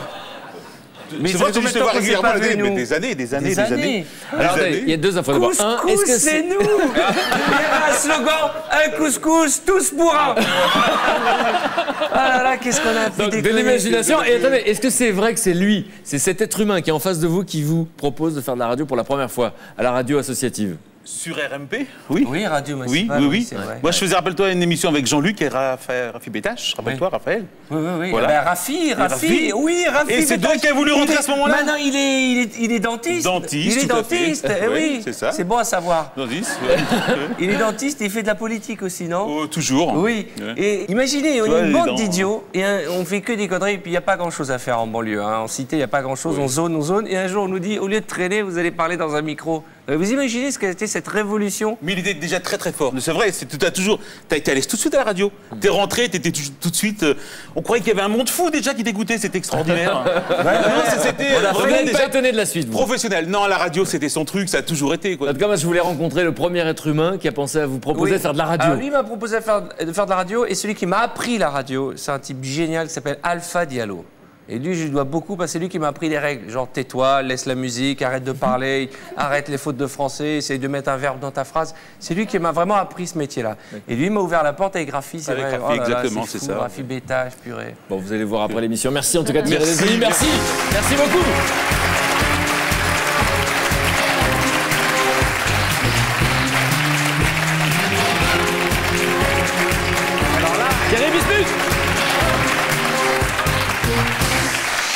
Bonne surprise, ça. C'est une bonne surprise. Ah ouais, ouais, ouais, ouais. Et en plus, j'ai même pas pensé à le faire réagir. Quand il est arrivé, il a dit Pourquoi on t'appelle Arthur? Et qu'il vous. Jacques à l'époque, lui. Moi, je m'appelle Jacques. Encore, je- je- là maintenant, je m'appelle Jacques encore. Euh, J'ai pris pseudo euh, Arthur parce que ça sonnait mieux, tu vois. T'imagines le jour de mon mariage, Jacques a dit oui, tu vois. Et depuis quelques mois, mon prénom, ben, euh, sur mes cartes de visite, c'est Jacques, Arthur, et mon nom de famille, je m'appelle Essebag. Et voilà, c'est quelque chose de très important. À 40 ans, je me suis dit, il faut que j'explique à mon fils que je ne suis pas celui qu'on croit être à la télévision, je ne suis pas cette image que je veux bien donner de moi, et que je suis voilà, quelqu'un qui avait un prénom, un papa qui s'appelle Jacques, et qui a un nom qui s'appelle Essebag. Et Arthur, bah, c'est sympa, c'est pour le public, c'est pour vous, mais quand je suis chez moi, les gens qui m'aiment Je voudrais justement rebondir là-dessus, parce que vous parlez de l'image qui peut être réductrice euh, quand on est médiatisé, comme ça, dans la lumière, ce sont réducteurs. Alors, que dire de quand on devient Miss brutalement Alors, brutalement, Ouais. devant des millions de téléspectateurs, et on est désigné la plus belle fille de France. Alors d'abord, moi, je voudrais comprendre, vous avez beaucoup dit, je suis devenue Miss par hasard, moi, j'y crois pas une seconde. Parce que nous, on s'est pas présenté, par exemple. non, non, mais comment on se retrouve à être Miss par hasard? On va te faire de la peine, euh, t'aurais pas marché. Euh, de se retrouver au concours parce qu'une amie vous inscrit. Après, vous légende, y allez. c'est la sûr. légende. Ah non, c'est vrai, parce que je vivais au Mexique à cette époque. Mes parents venaient de se séparer, c'était très difficile. Euh, je suis partie avec mon petit ami de l'époque euh, vivre au Mexique. Et quand je suis rentrée, j'ai une amie euh, qui m'a- qui m'avait inscrite au concours de Miss Tahiti. À 14 Disant, ans, euh, elle faisait déjà du mannequinat.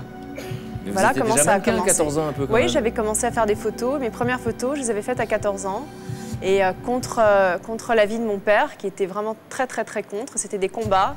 Et ma mère euh, était, euh, prenait parti pour moi. Et, euh, et mes parents se faisaient la gueule parfois juste pour ça. Quoi. Donc j'ai vraiment, j'ai fait quelques trucs, mais c'était l'école, l'école, l'école, l'école. Et, euh, Et quand vous devenez Voilà. Miss France brutalement, ouais. est-ce que, euh, bah, est-ce que les parents sont fiers de vous ou pas? Elle a débarqué Euh, chez complètement, moi, euh, presque habillée comme sur la photo. Oui et non. Mon père, non. Ma mère, oui. Votre père, non, pourquoi? Parce que parce qu'il a détesté ça. Personne n'a envie de voir sa fille se balader avec des noix de coco à la place d'un soutien-gorge. hein. Ouais, mais tout le reste de la France, oui, je t'assure. Il a totalement râlé. Voilà, on me confirme qu'il a râlé, quoi, pour de vrai. Oui, mais il a fait la gueule, il m'en a voulu, quoi. Ouais. Il voulait qu'elle soit notaire. Parce que parce qu'il imaginait autre chose pour moi. euh, C'est sûr qu'elle est loin d'être sais notaire. rien, hein. parce que pour lui, c'est- ça avait une image. euh, je- C'est dur de rentrer là-dedans, parce que c'est c'est très personnel, mais. euh, Mais c'est compréhensible, hein. c'est, euh, c'était pas, c'est pas, pour lui, c'était pas son rêve. C'était pas, je, je me suis fait engueuler, quoi. Je me suis fait pourrir. Hmm. T'as rien trouvé de mieux à foutre, je sais pas. Vous pensiez que ça allait lui passer ou pas à ce moment-là? Ou vraiment c'est un truc fort? Mais ça lui a jamais passé. Ça lui a jamais passé. Mais j'avais, bah, paradoxalement, ma mère qui était très contente pour moi et, euh, et mon grand-père surtout. euh, Parce que vous aviez été contesté en tant que Miss Tahiti et votre grand-père a ressorti l'arbre généalogique Ouais. et là il découvre quoi? J'avais pas arrêté d'être contestée, moi. parce que oui, mais c'est parce que je suis très blanche de peau, je, je suis métisse, et, euh, et on dit, mais Mareba, mais elle est pas tahitienne, en plus elle a pas l'accent et tout et tout. Et mon grand-père, euh, C'est une princesse, elle ose pas le dire, mais c'est une princesse. Votre arrière-grand-mère était euh, quoi? Une reine? Reine. Ouais, Donc vous êtes princesse vous? Ouais. Parce que vous l'avez pas dit, mais heureusement qu'ils sont là pour le dire. Ouais. Et vous le découvrez à ce moment-là, c'est le grand-père, lui, Ouais, qui je fouille dans l'arbre généalogique. Ouais, je savais pas, et, euh, et il l'a revendiqué. Il a dit, mais ma petite fille est princesse. Je je sais qu'est-ce que tu racontes, papy. Arrête, on va dire je me la Je pète. mais arrête Mais en tout cas, Miss, à ce moment-là, on va approfondir parce que le personnage, effectivement, est un peu réducteur. C'est extrêmement brutal. Votre père est pas très content. Et vous, à ce moment-là, c'est quoi? C'est vraiment le. C'était très difficile pour moi parce que j'étais perdue. J'étais seule, je vivais à Paris toute seule. Le soir, j'étais seule chez moi et j'avais personne à qui parler, à qui euh, Faut les appeler. me hein. confier. et, euh, Il y a des Voilà. potes d'Arthur qui dit fallait appeler. je dis Ah pas. Elle était seule. Attendez, Je dis qui pas. est le chacal Parmi mes amis qui auraient pu dire ça, j'ai une petite idée. C'est des moments qui sont difficiles Ouais. quand vous avez 18 ans et que, que vous êtes propulsé comme ça dans, dans quelque chose qui est euh, très médiatisé. J'avais pas En le fait, droit de à me ce moment-là, tout le monde vous envie. Vous, vous n'avez pas le droit de vous plaindre, mais c'est un vrai déchirement affectif, euh, géographique. Hum. Puis vous n'avez pas le droit d'être fatigué. Vous vous faites pourrir par Geneviève de Fontenay qui dit Ah, vous êtes toujours fatigué, vous êtes toujours dormir et tout. Vous n'avez pas le droit. C'est-à-dire que vous êtes Miss France, vous êtes là pour représenter. Enfin, Non, mais si elle était fatiguée, c'est parce qu'on faisait le mur aussi. hein. c'est c'est une espèce de, de rôle ou je sais pas quoi. On me donne des infos, c'est le principe Ouais. de l'oreillette. On dit, ouais, mais elle était fatiguée parce qu'elle faisait le mur quand elle était en tournée. Ah Elle va être contente, Geneviève, d'apprendre ça dix ans après. D'accord. Je serais mort de rire, c'était Geneviève qui était là-haut. C'est Geneviève qui te parle. Ce serait drôle. Elle l'aurait appris entre temps, J'étais fatiguée, ouais, parce qu'on sortait, on faisait le mur et tout. Mais c'était génial, vous vous retrouviez comme ça sur la Côte d'Azur. J'avais jamais été sur la Côte d'Azur de ma vie. Et puis on me disait, euh, vous aviez genre des gardes du corps et tout. Ils disaient, putain, il y a des super boîtes et tout, on va faire la fête ce soir. Et toi, t'es là, tu fais, bah ouais, mais je suis, enfin, j'ai pas le droit demain. Et puis j'ai un avion à 7 h du matin. Non, mais c'est pas grave. Alors on rentre à l'hôtel, Geneviève se couche et on vient vous chercher. Et puis on y va, on va faire la fête. Tu te changes et tout. Et donc on a fait plein de trucs comme ça, ouais. Et vous avez fait venir la famille un peu ou pas? Un par un? Euh, ils sont venus en vacances me voir, oui, mais euh, euh, voilà. C'est moi je retournais la première fois, je suis rentrée. oh, salut mon On applaudit son petit frère Ça Et mon ouais. Je vous laisse installer. Tamatea, c'est votre petit frère. Ouais. Comment ça se fait? Parce que je sais pas si c'est grâce à vous, à cause de vous, qui vit dans la métropole maintenant. C'est à cause de moi ou c'est grâce à moi? On va dire que c'est en partie grâce à elle. Ouais. Bah oui, parce qu'en fait, euh, je l'ai inscrit dans une école euh, qui s'appelle Penningen. Je voulais absolument qu'il vienne faire ses études à Paris, parce que je trouvais que c'était vraiment une chance de pouvoir avoir quelqu'un dans un pays, parce que moi je me suis tellement sentie seule quand je suis arrivée, et là moi je vis ici et je lui disais, il avait envie de faire une école d'art et tout, et je me suis dit ce serait génial quoi qu'il puisse venir ici, et euh, voilà, on a réussi à, à persuader notre père. On a réussi et c'est une chance. Ouais. C'est une chance. Remercier le petit frère qui est venu, c'était sa première Merci, télé. Merci beaucoup. Merci Tamatea. Merci beaucoup. Partez par la grande porte.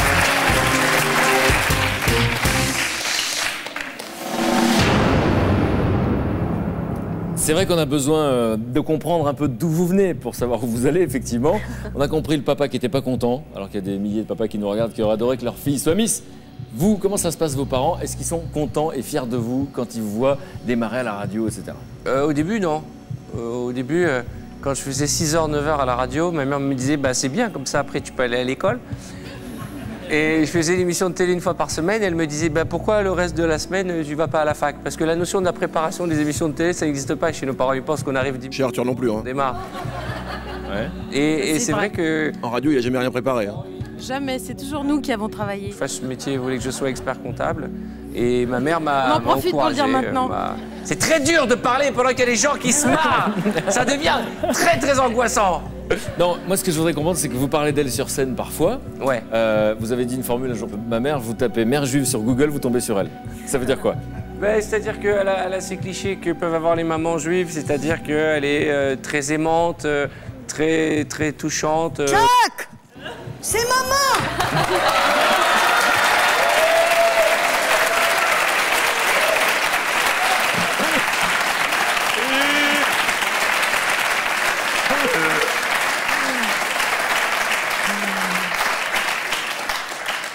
Qu'est-ce que j'apprends comme la mienne. On fait une émission sur toi, on invite la famille, les proches, et toi tu invites pas ta mère.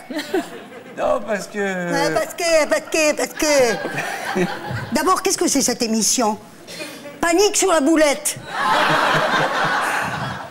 Et puis dis-moi, qui c'est ce Frédéric Lopez Bonjour madame. Bonjour monsieur. Dis-moi, Lopez, c'est pas juif Je sais pas. Ouais. Il faudrait que tu ailles vérifier.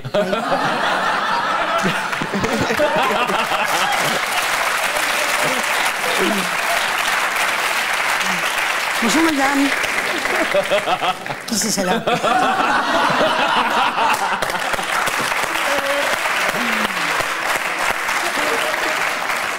C'est Mareva Cohen Galante. Écoute, arrête de raconter des chalefs à ta mère. Hein Y en a marre. Bon, dis-moi. Celle-là, je te préviens, je peux pas la voir, hein Mais elle est quand même jolie, maman. Bon, ça alors, je m'en fiche. hein. Elle cuisine depuis l'âge de 10 ans. Bon, qui c'est qui est venu te voir à l'hôpital, hein Quand tu as eu l'opération de tes oreilles? Ah oui, c'est Oh vrai. là là, l'opération des oreilles. Si vous saviez. Il avait la tête complètement bandée. On aurait dit une momie. C'est vrai, hein C'est vrai. Deux trous pour les yeux, C'est vrai. un trou pour la bouche. Mais quand même, il était beau, mon fils. Vous voulez que je vous montre Vous allez Ah voir, j'ai porté une photo. Oh Regardez, regardez comme il est Comme beau. il est Hein beau. Regardez, regardez. Trop beau, trop Il beau. est Ça, c'est vrai, elle hein vous l'a dit. Oh Oui, ça c'est vrai. Ma mère était venue voir et j'avais, j'avais été opéré. Il me restait que les yeux et la bouche pour respirer avec un petit tube. Mon Dieu. Et j'ai eu une, une grave opération et elle m'a dit Tu n'as jamais été aussi beau. Elle m'a dit. tu es beau, elle m'a dit On dirait Robert Redford. Il faut savoir qu'à chaque fois qu'Arthur va chez le médecin, c'est une grave opération. hein. Même chez le dentiste. Purée, hein. Vous savez qui c'est qui l'appelle tous les jours pour avoir de ses nouvelles? Hmm? C'est vous, bien sûr. Eh bien, bien sûr, tiens. Elle, j'ai- elle m'appelle tous les jours, c'est vrai, pour prendre de mes nouvelles. Et je vais, moi, une fois par semaine, payer une personne pour parler de ma mère. Et c'est quoi ton problème?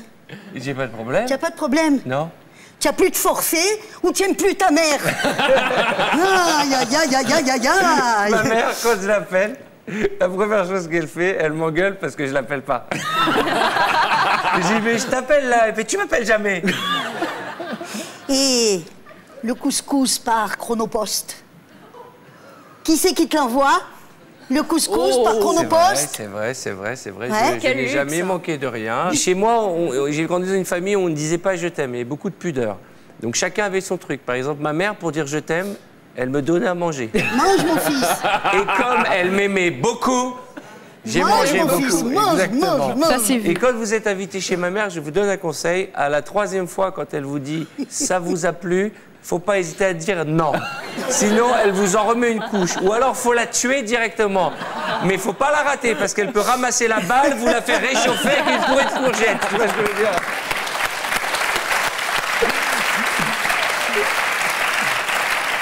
Mais quand même, je voudrais savoir qui c'est qui le mange, ce couscous. Non, parce que regardez, regardez-le.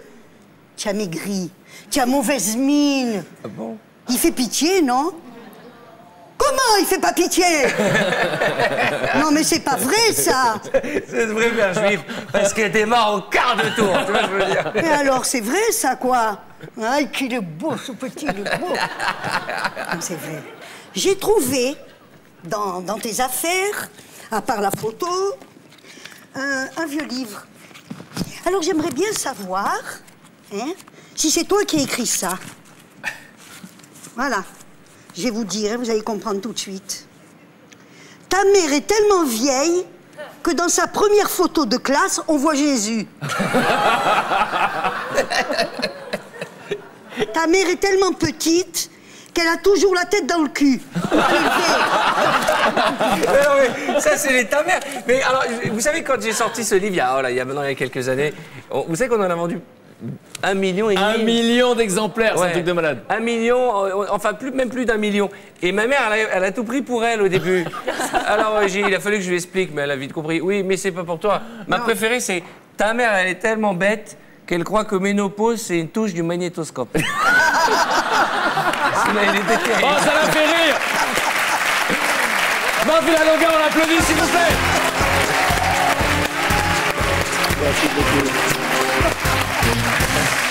Juste un mot pour... Non mais, de toute façon, tu peux rien pour attendre.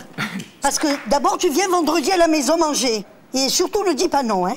Parce que sinon, le samedi, triple ration de Dafina.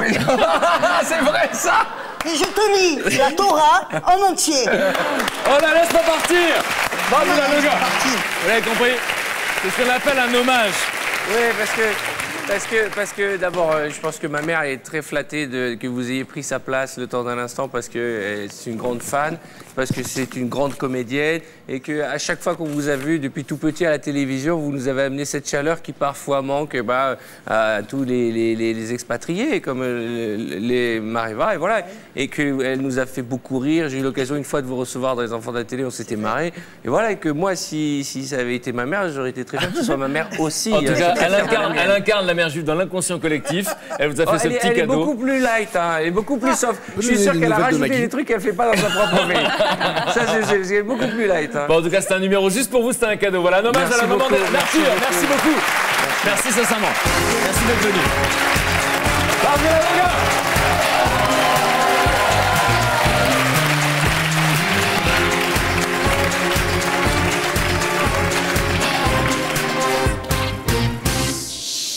C'est cool. Ah là, pas une seule saloperie, hein.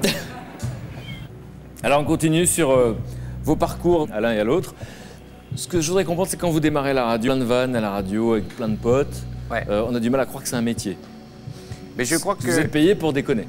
Oui, c'est même moi, j'ai du mal à croire que c'est mon métier, mais c'en est un, parce que même si on déconnait beaucoup, euh, c'était préparé. Mais c'est Ah vrai bon que moi, j'ai ma carrière. euh, Il sait que c'était préparé, je suis content de le savoir. Moi aussi. s'est construite avec une équipe de, de dingue euh, que, que j'oublierai jamais. Et d'ailleurs, que maintenant que j'ai la chance d'avoir une radio, ou IFM, j'en parlais tout à l'heure, j'espère qu'ils vont venir me retrouver très vite. Et c'est formidable de pouvoir se dire que mon métier, c'était de me marrer deux heures par jour. Que j'ai été payé pour déconner et me marrer. Mais c'est un peu de boulot quand on fait Moi, de la déconne. on- je crois qu'on peut tout me reprocher sauf de ne pas être un bosseur. Quoi. Pardon Moi, je, je Ah, tra- ah, on peut parler. hein. Il n'y a aucun de mes amis qui dit que je suis un fainéant. C'est Ouais, impossible. Le fait d'arriver à 16h03 Alors n'est pas bon signe. a démarré à 16h.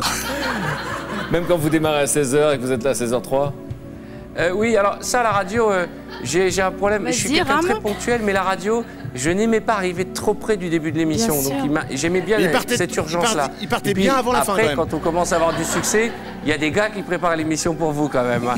Donc j'ai Ah, aussi même. des équipes de producteurs euh, formidables à la radio, oui. Mais, mais vous savez, quand vous faites du direct tous les jours pendant deux heures, pendant 15 ans, ce qui a été mon cas, au bout d'un moment, c'est une vraie mécanique. Quoi. Il y a Oui, pas pour nous, de non. Ah oui, préparer c'est sûr. Pour nous, non, pas du tout. On bossait pas. Et donc, non, non, et parmi les, les- les- les- Parce qu'on dit c'est de la déconne, etc. Mais il y a des trucs qu'il fallait oser quand même. Le truc dont vous êtes le plus fier, c'est quoi à la radio Euh, Le vous faisiez faire aux gens Le, le plus fier, je sais pas, j'ai fait un truc qui s'appelait La Baston à la maison, Ouais. qui était un jeu qui, qui encore marque les mémoires. Euh, c'est vrai que appelé des gens, par exemple, je demandais à une femme d'appeler son mec, elle avait une minute pour que le mec raccroche. Donc ça, ça allait très vite. Par exemple, elle disait à son mec, euh, bah voilà, je- ta mère, j'ai plus envie qu'elle vienne passer le week-end à la maison. Et là, on avait des cris, des hurlements, les gens raccrochaient. Je crois que c'est ce que j'ai pu amener, je l'ai importé des États-Unis, ce, ce format-là, c'est-à-dire la liberté totale à la radio. D'accord. Est-ce que ça vous dit quelque chose, ça? C'est un pantalon Ouais. Je vous laisse le récupérer parce qu'à mon avis, de près, vous allez comprendre à quoi on fait référence. Ah oui, oh là là, oui. venez, venez montrer aux Ah oui, ah oui, ça c'est un truc, euh, ça c'est mais c'est un truc de gloire, voyez-vous. J'espère pas. Ça c'est un pantalon avec plein de chewing-gum. En fait, c'est parce qu'une fois, je partageais mon studio avec sur Europe 1, euh, le club de la presse. J'avais un studio en public un peu comme celui-ci, et une fois par semaine, il y avait un homme politique qui venait faire l'émission en public. Et moi, j'ai été contre cet homme politique. Et j'avais pas le droit de. j'avais aucun acte. euh, C'était une radio qui recevait tous les hommes politiques, donc j'ai pas le droit de, de l'ouvrir, quoi. Et juste avant le début de l'émission, une minute avant que je cède ma place, il y avait un écran pub, je voulais surtout pas le croiser, j'avais organisé pour sortir d'un côté pendant qu'il arrivait de l'autre. Je sais pas ce qui m'a pris. J'ai d'abord coupé le micro sous la table sans le dire avec un ciseau. Le sale gosse. Et surtout, j'ai demandé à tout le public, j'ai distribué des chewing-gums, de coller sous l'endroit où il allait s'asseoir des, des- des bouts de chewing-gum. Et, et donc ils sont assis, l'émission a démarré, son micro ne marchait pas, ça a été un bordel, donc pendant 20 minutes il n'a pas pu parler. Et à un moment il s'est donc levé, et on m'a dit qu'il avait plein de chewing-gum, et, et c'était mon acte de rébellion à moi, et c'était Jean-Marie Le Pen, et j'étais bien content d'avoir fait. Voilà. Est-ce comprendre, c'est- est-ce que vous étiez euh, dans la déconne à l'antenne ou est-ce que, est-ce que vous étiez comme ça dans la vie ou est-ce que vous étiez angoissé dans la vie pendant toute cette Moi, période je, je- je suis quelqu'un euh, d'assez anxieux, parce que quand tout va trop bien, on est toujours angoissé. C'est bonheur anxieux. Oui, c'est pour ça que je suis très hypochondriaque, parce que j'ai beaucoup de chance dans la vie, j'ai fait un métier qui me plaît, j'ai du succès, et je me dis la seule chose qui peut m'atteindre, bah, c'est la maladie. Et, et je suis tellement heureux de, de- de la vie que j'ai, de, de- de- de mes enfants, enfin de mon fils, de ma famille, de mes amis, que je voudrais pas que ça s'arrête, et que voilà, donc je voudrais pas que ça arrête euh, ce bonheur que je vis tous les jours, quoi. D'accord. Voilà, c'est le chat d'Emmanuel Lévy, mesdames, messieurs Ouais, je peux pousser.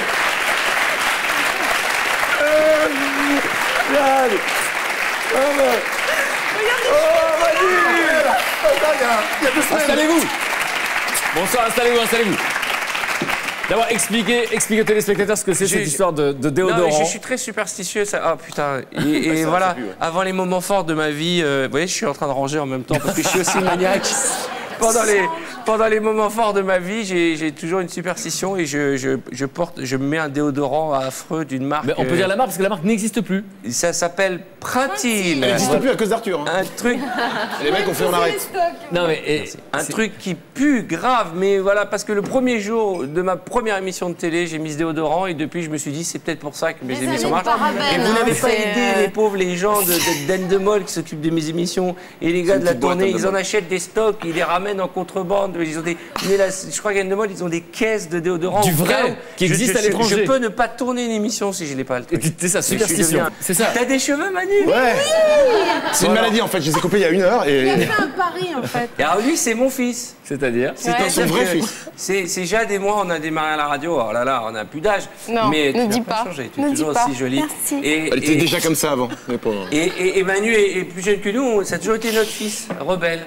Voilà. Et, Voilà. et maintenant, c'est devenu une star de la radio. Donc, on n'a pas Oh. enfanté d'amour. En tout cas, il nous a beaucoup fait rire. Ce soir, on peut applaudir Ah Manu ouais. Lévy Ah bah et oui. penser Jade parce que.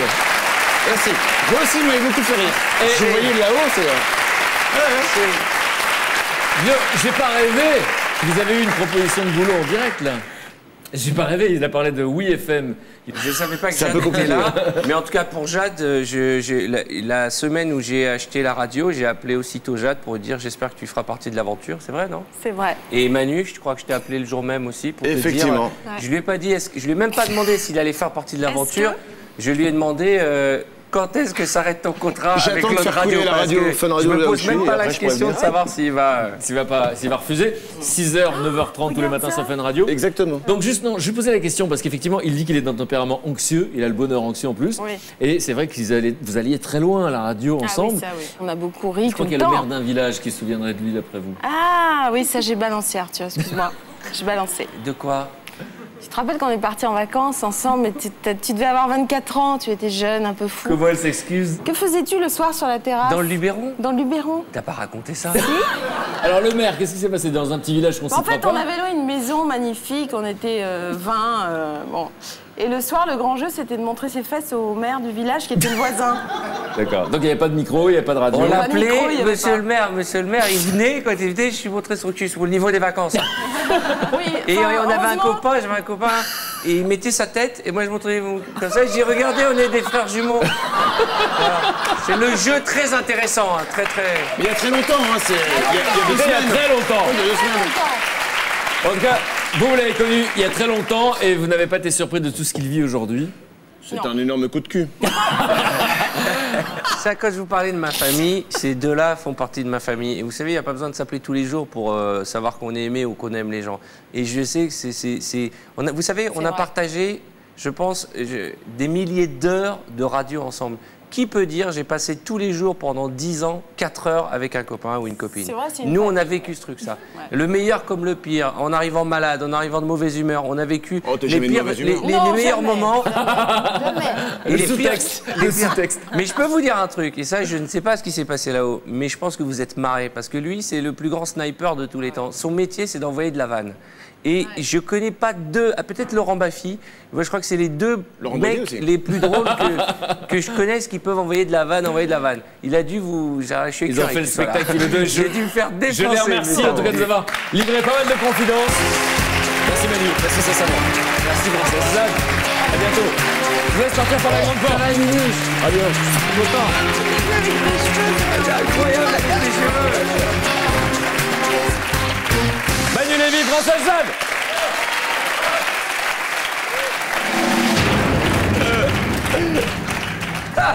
En général, c'est l'inverse. Quand tu vois des copains, ils perdent leurs cheveux. Lui, il en a plein. C'est magique. On essaie de, de comprendre. Euh, c'est vrai qu'on parle de, de, de- de cette réussite sociale, en tout cas de la médiatisation, de la manière dont on devient célèbre. Il y a ce qu'on appelle des, des, euh, des choses parfois compliquées à vivre. Par exemple, vous, vous avez fait des couvertures de magazines qui vous ont euh, posé des soucis. Ah ouais, à l'époque, ouais, j'avais fait un truc, ça avait fait un scandale. C'est-à-dire Un peu dénudé, euh, il y, a, il y a 10 ans, il y a 9 ans, ça avait fait un truc euh, pas possible. Mais c'était nul, ça n'avait aucun intérêt d'ailleurs. C'est-à-dire, alors c'est cette photo-là, hein, c'était un magazine. Nous, on trouve la photo magnifique. Vous la trouviez aussi magnifique, sinon vous l'auriez pas acceptée? Euh, non. Non? Ça moche. Et pourquoi vous avez, pourquoi vous avez créé un scandale en fait? Parce, parce que parce qu'on se rend pas compte. euh, juste après, vous avez un agent, vous vous laissez embarquer. euh, c'est nul, ça n'a aucun intérêt. Donc ça fait scandale. Geneviève est en colère à ce moment-là. Vous Oui, êtes obligé de faire des excuses colère. publiques. Vous êtes choqué parce que Geneviève est choquée. Ouais, oui, Geneviève, je l'adore, mais elle est tout le temps en colère. Donc. euh, Non mais en plus là il y a prescription Et puis franchement, il n'y a rien. il- C'est pas. Franchement, elle a pas de lait sur le corps. euh, euh, non mais. Moi, moi, bon, après, je comprends qu'elle puisse ne pas aimer cette photo, mais il n'y a rien de choquant quand même. Ce que, ce que je voulais comprendre, c'est que euh, entre Miss à ce moment-là, parce que c'est pas votre univers et vous l'avez quitté depuis, Mhm. vous arrivez à avoir des copines ou c'est une rivalité en fait? Euh, alors, oui, j'ai, enfin, j'ai- j'en, j'en ai pas beaucoup. Je suis très amie avec Sonia Roland, qui, est- Ouais. qui était Miss France juste après moi, qui est quelqu'un de, de très touchant que j'aime beaucoup. Mais sinon, non, Miss France, c'est pas une grande famille. C'est chacun pour sa gueule. D'accord. Mais, euh, mais aujourd'hui, depuis que Sylvie Tellier euh, euh, s'occupe de la société Miss France, elle essaye justement de, voilà, de, que, que ça soit une, une famille, quoi. On applaudit très fort, mesdames, messieurs Ça, c'est le genre de moment Je fais un bêtise sur toi. Ah, que des horreurs Quelle horreur. Non, vous nous disiez, raconte j'ai des pas Miss. temps, quoi. Euh, pas Miss France. Ah, oui, la petite subtilité Installez-vous, installez-vous, vous parliez des Miss France et tout. Mais non, Célia, on s'est connus il y a 10 ans, parce Ouais. qu'on avait fait l'élection ensemble. Miss Bourgogne, troisième dauphine. Ouais. et c'était euh, et c'était génial parce que Célia et une autre amie qui s'appelle Pamela qui vit à New York m'ont accompagnée pendant toute l'année et j'avais demandé à Geneviève parce que je j'étais vraiment pas bien et j'avais demandé d'avoir ces deux amis avec moi toute l'année et on a fait les, les- les 400 coups ensemble, les pires trucs, on est et on est de, de vrais amis. Quoi. Ça fait 10 ans, on s'est pas quittés. Monsieur a mis le casque de travers au deuxième rang là-bas avec les lunettes.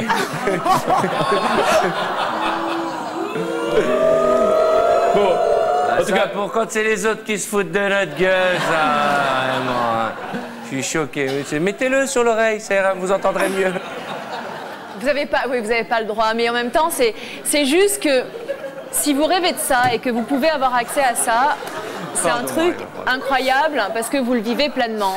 Et sauf que moi, malheureusement, je ne l'ai pas vécu à 100% euh, comme ça. Combien de doigts? Pardon, excusez-moi Frédéric, pardon. Alors, qu'est-ce que vous disiez Ça a l'air triste et tout, c'est pas ça. C'était difficile pour moi, mais j'ai passé des moments merveilleux avec mes amis, magnifiques. euh, Qu'est-ce qu'on a rigolé, qu'est-ce qu'on, enfin, on a fait vraiment des, des choses improbables, quoi. Je voudrais qu'on remercie beaucoup Célia. Merci d'être venue, de raconter cette période en tout cas. Merci à vous.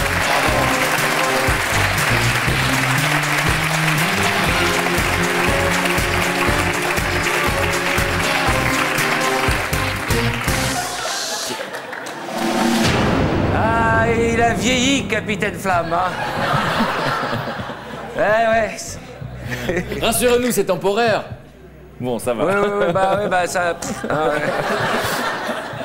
Vous me voyez là? Hop là, hop là Voilà, Je suis là, hop, je suis pas là Pardon.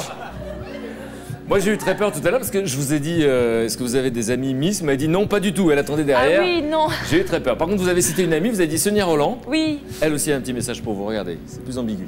Mareva, je ne suis pas venue sur le plateau car euh, la production, pour des raisons de sécurité, m'a conseillé de ne pas venir euh, car tu m'exaspères, tu m'énerves, tu m'énerves. J'ai dressé une liste, je vais te le faire savoir. Primo, ton bonheur m'énerve. Tu as le mec idéal qui, heureusement, lui, me donne de tes nouvelles. Pour mes parents, tu es la fille parfaite qu'ils n'ont jamais eue. D'ailleurs, les rares fois où j'ai mon père au téléphone, il me demande de tes nouvelles. Et ma fille, qui n'a que deux ans, a des photos de toi sur son mur.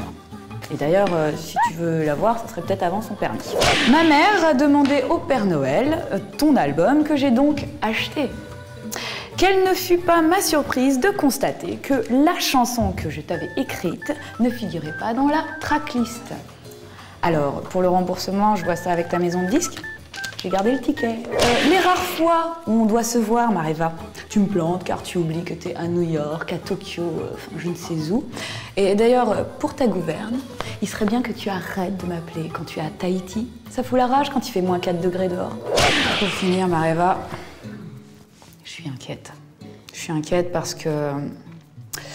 Parce que voilà, je t'ai vu déambuler déguisée en Hello Kitty dans Paris. Alors, alors ma question, Mareva, euh, est-ce que ton mec essaierais d'assouvir certains fantasmes ou tu as définitivement pété une durite. Alors, pour répondre à toutes ces questions, tu peux toujours m'appeler ou tu as le numéro de ma mère ou euh, internet, euh, enfin fax, tout ce que tu veux quoi. Hmm J'attends ton appel.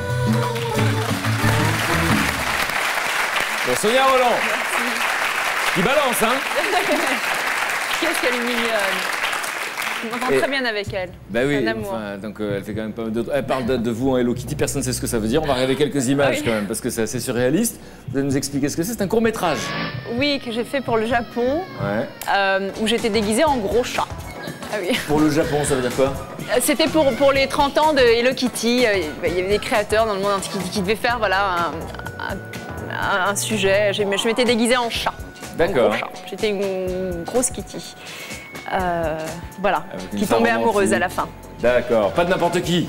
Du réalisateur du clip. Ouais, de Jean-Charles de Castelbajac. Bon, Euh, effectivement, on parle de, de- de Jean-Charles parce que le public sait. Vous avez vu dans les journaux que vous étiez ensemble. Mhm. Euh, c'est vrai que euh, on vous a prêté et les uns et les autres des tas de relations. Euh, un petit message d'un ami à vous. Regardez. C'est sur la décoration. Il adore la déco. C'est un grand fan de décoration. Voilà. Et, euh, il, je sais pas, il, a un truc. À un moment, il a bloqué sur un truc. C'est qu'il a une maison dans le sud de la France et euh, il veut que ce soit Bali. Voilà. À chaque fois, il est là, on est chez lui, c'est formidable. Et il fait Eh, C'est Bali, hein, hein C'est Bali, non? T'as vu, eh, ce le meuble que j'ai, le petit meuble là? Hein, C'est Bali, non? Mais voilà, donc euh, qu'est-ce que. Pourquoi D'où vient cette euh, passion pour Bali Que tu ne connais pas d'ailleurs, parce que je ne sais jamais aller à Bali. Hein, tu as dû voir des photos. Et je voudrais, oui, viens, viens, vas-y, n'aie pas peur. Voilà, il y a- il y a- il y a Christelle qui est là, à qui j'ai parlé, qui m'a raconté votre histoire, et franchement, Arthur, je suis déçu. Je vais expliquer à Mariama pourquoi vous rigolez. Il faut expliquer à Mariama pourquoi vous riez. La fille là, c'est Christelle Muller, ma première petite copine dont je parlais tout à l'heure. Ah, ah, d'accord C'est Christelle. Et euh, Qui avait 11 ans donc quand il s'est pris un râteau par Christelle, elle était avec Danny Boone maintenant. Eh ben, Christelle. Bon, donc la Voilà. déco, la déco c'est votre truc. Ouais, bien Vous ça, adorez ouais. les décoratrices. Oui. Oui, oui, je. je, je, je- Parce qu'à la une des journaux, vous a prêté une liaison avec votre décoratrice. Ouais, alors c'est terrible. Ça, c'est, sont vraiment les méfaits de la. de Les la dommages presse collatéraux de la Ouais, notoriété. Exactement. C'est une très bonne amie à moi qui, quand j'ai dû déménager en catastrophe, euh, bah, a passé beaucoup de temps à, à décorer mon appartement et pas simplement la décorer. Elle m'a acheté, j'ai besoin de draps, j'ai besoin de serviettes, j'ai besoin de fourchettes. Et donc, effectivement, elle arrivait tous les jours chez moi avec tout ça et sont dit, elle s'installe avec lui. Enfin, les gens. Et Les la gens, presse, les la presse, quoi. la presse euh, malhonnête. Et, et ce qui m'a le plus blessé, c'est qu'elle en a énormément souffert parce qu'elle-même est, mariée, qu'elle a des enfants. Vous imaginez un peu dans les écoles comment on disait à leurs enfants alors ta mère, elle a quitté ton père. C'était horrible, c'était un cauchemar. C'est- C'est la pire chose qui puisse arriver. Et encore, c'est léger à côté de ce qu'on m'a fait. Moi, j'ai fait un enfant, hein, une ministre cette année, vous savez. Donc, euh, Donc d'après la rumeur. Non mais tu sais- D'après la rumeur. Ouais, mais d'après la rumeur, mais alors ça vous fait sourire. Mais moi, quand mon petit garçon il rentre dans l'école et il me dit Est-ce que c'est vrai, papa? Qu'est-ce que je lui réponds? C'était Rachida Dati. on Oui, mais qu'est-ce, qu'est-ce que- déjà que je trouve ça horrible pour le père de l'enfant, ce qui, ce qui se passe en ce moment. Mais, mais moi, j'ai dû expliquer à mon propre fils, qui, parce qu'à l'école, tout le monde se foutait de sa gueule ou tout le monde l'embêtait avec ça. Donc, Et votre évidemment. mère, vous croyez, votre mère Euh, ma, ma mère, elle m'a, elle m'a demandé est-ce que c'est vrai Tu peux le dire à ta mère. hein, euh. On la trouve très sympathique. hein. Mais, euh, mais voilà, je ne vais pas m'étendre là-dessus. Mais quand vous, vous lisez cette presse-là, vous vous marrez, vous passez peut-être à autre chose dix minutes après. Mais nous, à ce moment-là, c'est là que les, les emmerdes commencent. Et, et c'est vrai qu'il n'y a rien de plus violent qu'une cour de récréation pour un enfant. Il n'y a rien de plus violent qu'une rumeur qui surgit de nulle part. On a même dit que j'avais vendu mon appartement à Vladimir Poutine. C'est-à-dire que maintenant, les gars, quand on voit des conneries, ils montent à un degré. La prochaine fois, c'est je vais aller vivre dans l'espace. Je ne sais pas ce qu'ils vont On chercher. est là pour, pour établir la vérité. Donc la voilà. réponse est non. C'est pas vrai. Mais j'ai pas vendu mon appartement à Vladimir Poutine. Je sais pas, moi. Mais pas du tout. Je, je l'ai prêté à Rachida Dati.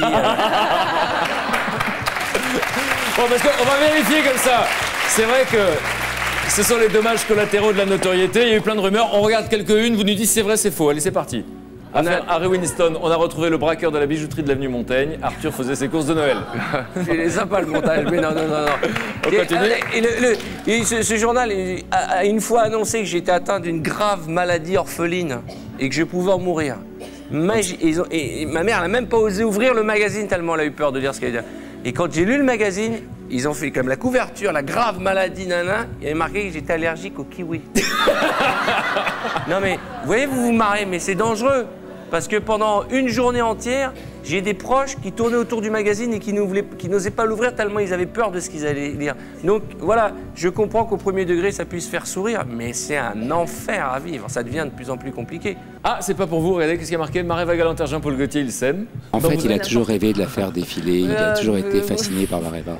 On me dit qu'il a toujours été fasciné par vous. Jean-Paul Gaultier? Ouais. Euh, Je sais pas. Vous ne saviez pas, euh, Non, je, je sais qu'il. est- Enfin, non, je, je, je sais pas, mais je l'aime beaucoup.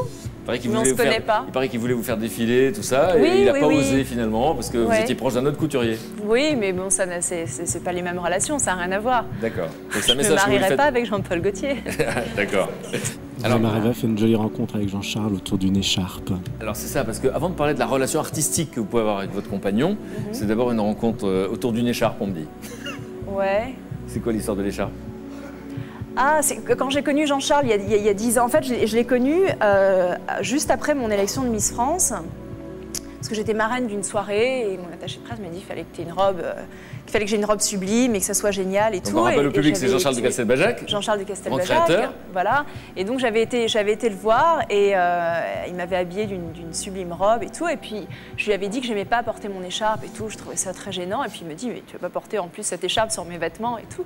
Donc il m'avait créé une écharpe euh, en plastique transparent. Il avait tagué à la peinture à la main euh, Miss France avec une cocarde. C'était très bien fait. C'était très rock'n'roll, quoi. conceptuel, C'était, euh, très rock, décalé. très décalé. Ça n'avait pas plu du tout à Geneviève.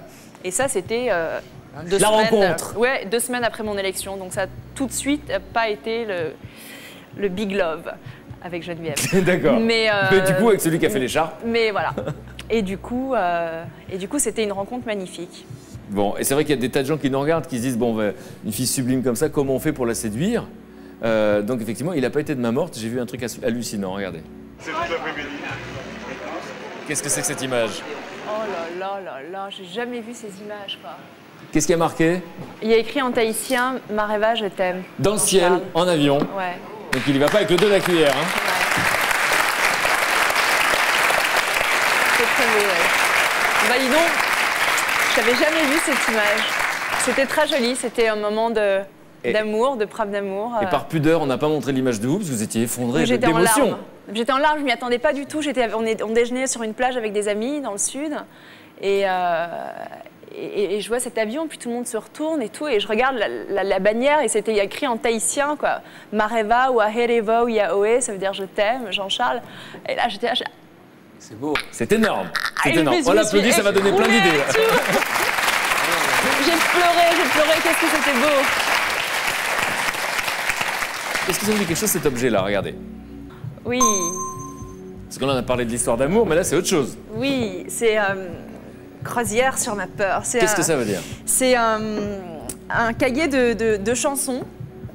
Parce que sur mon album, Jean-Charles m'a écrit euh, la moitié de mes chansons, la moitié des textes. Et euh, voilà, c'est vraiment écrit euh, à la maison. euh, À la main. Il y a des dessins. euh.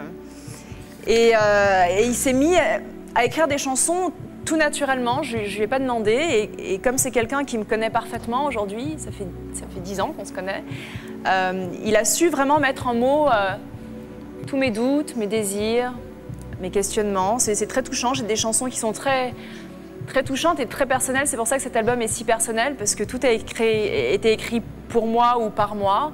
Et, euh, et Jean-Charles m'a écrit des textes bouleversants. Alors j'allais demander à Arthur s'il avait pensé à la chanson, mais avant je préfère que quelqu'un qui vous connaisse bien réponde à la question.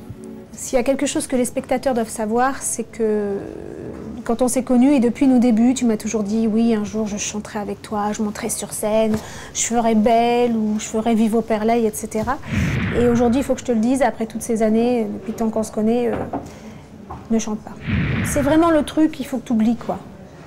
Par amitié pour nous, euh, pour la France entière d'ailleurs. euh, voilà. Et puis puisqu'on y est d'ailleurs. euh, euh, Salut Jacques. Tu te souviens Euh, bon, bah, écoute, j'espère que tu lui en veux pas. Maintenant, elle est. Elle est toujours là, et- elle. Sans rancune quand même. Voilà. Donc maintenant vous avez reconnu Christelle elle doit être Elle, doit être, elle est tellement cool, Christelle. Elle doit être tellement contente. Mais Hélène, c'est, ça fait partie de ces gens qui, voilà, qui, qui, qui, qui- voilà, quand mon cœur bat, il y a toujours un petit peu de place pour elle, comme pour Dan.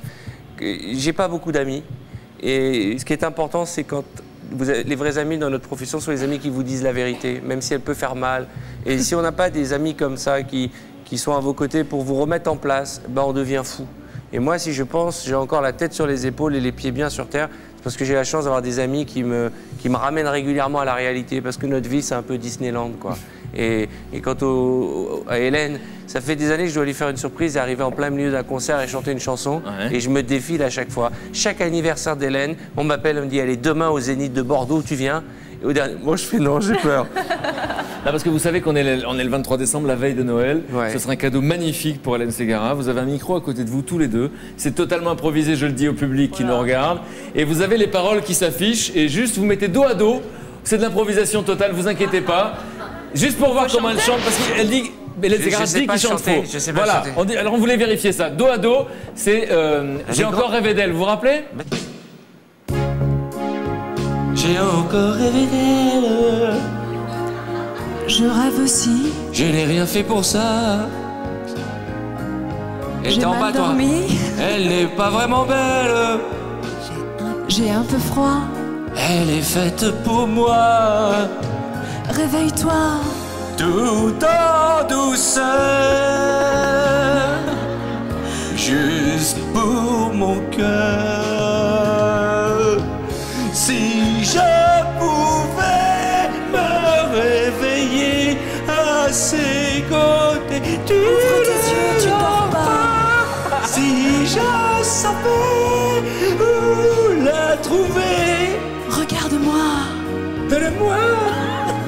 L'espoir.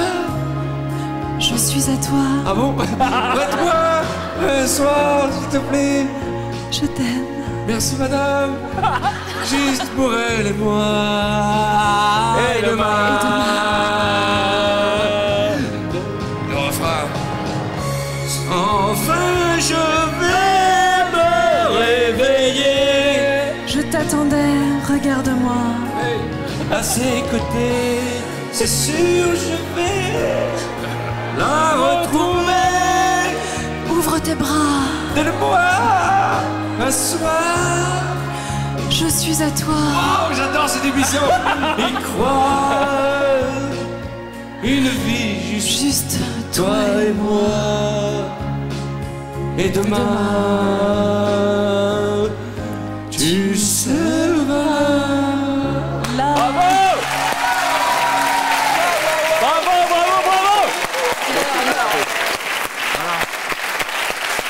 terrible. C'est terrible. C'est Improvisation. terrible. Je C'est terrible. rappelle au public, improvisation totale. c'est- Si j'ai un rêve que j'aurais pu réaliser, que je ne réaliserai jamais, c'est de savoir chanter et de savoir jouer d'un instrument. Vous savez, quand on est le matin dans la salle de bain, comme ça, je rêverais de. J'ai pris des cours de guitare et il a abandonné le professeur. C'est pas moi qui ai abandonné, c'est le prof qui a abandonné tellement j'étais nul. Je sais rien faire de mes mains. Enfin, Ah. musicalement, vraiment. Musicalement. Et, et j'adorerais savoir chanter. Et qu'est-ce qu'elle se moque de moi, Hélène? Alors, à une époque, Hélène Ségara, je me moquais d'elle. J'ai laissé des messages interminables sur sa boîte vocale.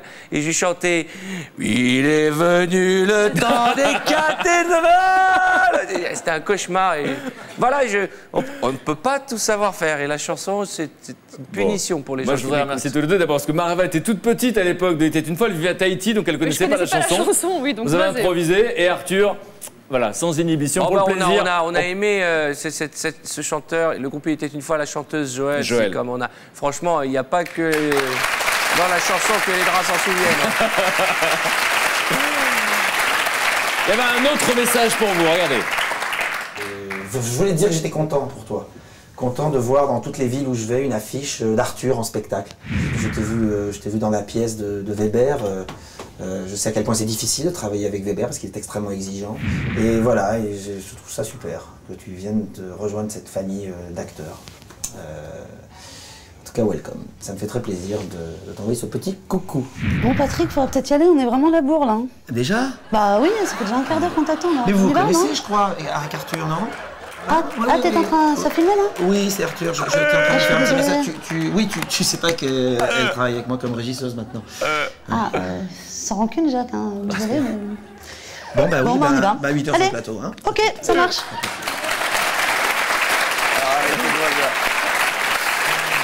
Alors là. Ah. Tu m'as tué, Catherine Barba, tu m'as tué. Christelle Donc, avec Christelle. Patrick Bruel. Bientôt Christelle avec George Bush. avec Barack Obama. On rappelle que c'est Christelle de Massy Palaiso du CM2 Ah qui est en classe avec lui. Pour ceux qui l'époque, c'est comme Martine à la plage, vois. Christelle avec Patrick Bruel, Christelle avec Danny Boone, Christelle avec Hélène. Ah. Mais c'est tellement le truc à savoir. C'est vraiment. Je voulais, je voulais vraiment vous remercier, Jean-Pierre Foucault, parce que c'est vraiment des, des super bons moments. Et, et- et remercier Patrick. Patrick, on s'est connus euh, il y a 20 ans. On s'était donné rendez-vous, tu vois. Un dernier message. Ça n'arrête pas. Va au bout de tes rêves. Ah. Continue. Continue d'aller au bout de tes rêves. Quelles que soient les conséquences, de toutes les façons, d'aller au bout de ses rêves, c'est une chose magnifique. Voilà. Et puis je voudrais te dire autre chose aussi. Fais attention à ta montre. Tu vois ce que je veux dire?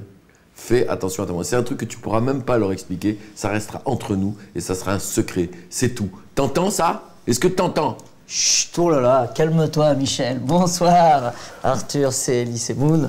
Ah oui, Euh, parce qu'on l'avait pas reconnu. Oui, oui, non, mais on sait jamais. On je c'était- débute. hein. On croyait que c'était ta, tata Jacqueline, mais non, Voilà, exactement. Moi, ce que je voulais te dire, Arthur, j'ai eu le- la chance d'être euh, produit par toi, par ta maison de production pour mon film. Et j'en suis très heureux. Sauf que euh, je ne ferai pas la promotion de ce film. Euh, c'est la seule fois où j'en parlerai, c'est dans cette émission-là. Donc allez voir Cyprien, ça sort le 25 février. Ah, excuse-moi. Deux secondes, hein, je suis désolé, parce qu'on a autre chose à faire quand même. Allô? Ah, C'est Christelle. Ah, Christelle. Ouais, on arrive tout de suite. Bah, De toute façon, on est déjà à l'hôtel. Hein. Oui, Ah, passe-la moi. Attends, allez, chambre. Ouais, allez, chambre, la chambre à côté. Ok, dé- bah, déshabille-toi, de toute façon, on, on arrive. Attends, je te passe Michel. Christelle, est-ce que le lit est assez grand? Non, parce que Ellie, il est très dynamique, tu sais comment il est. Il est très très nerveux. Euh, on arrive, je t'embrasse. Défais le lit, s'il te plaît. J'arrive, ma chérie. À tout de suite.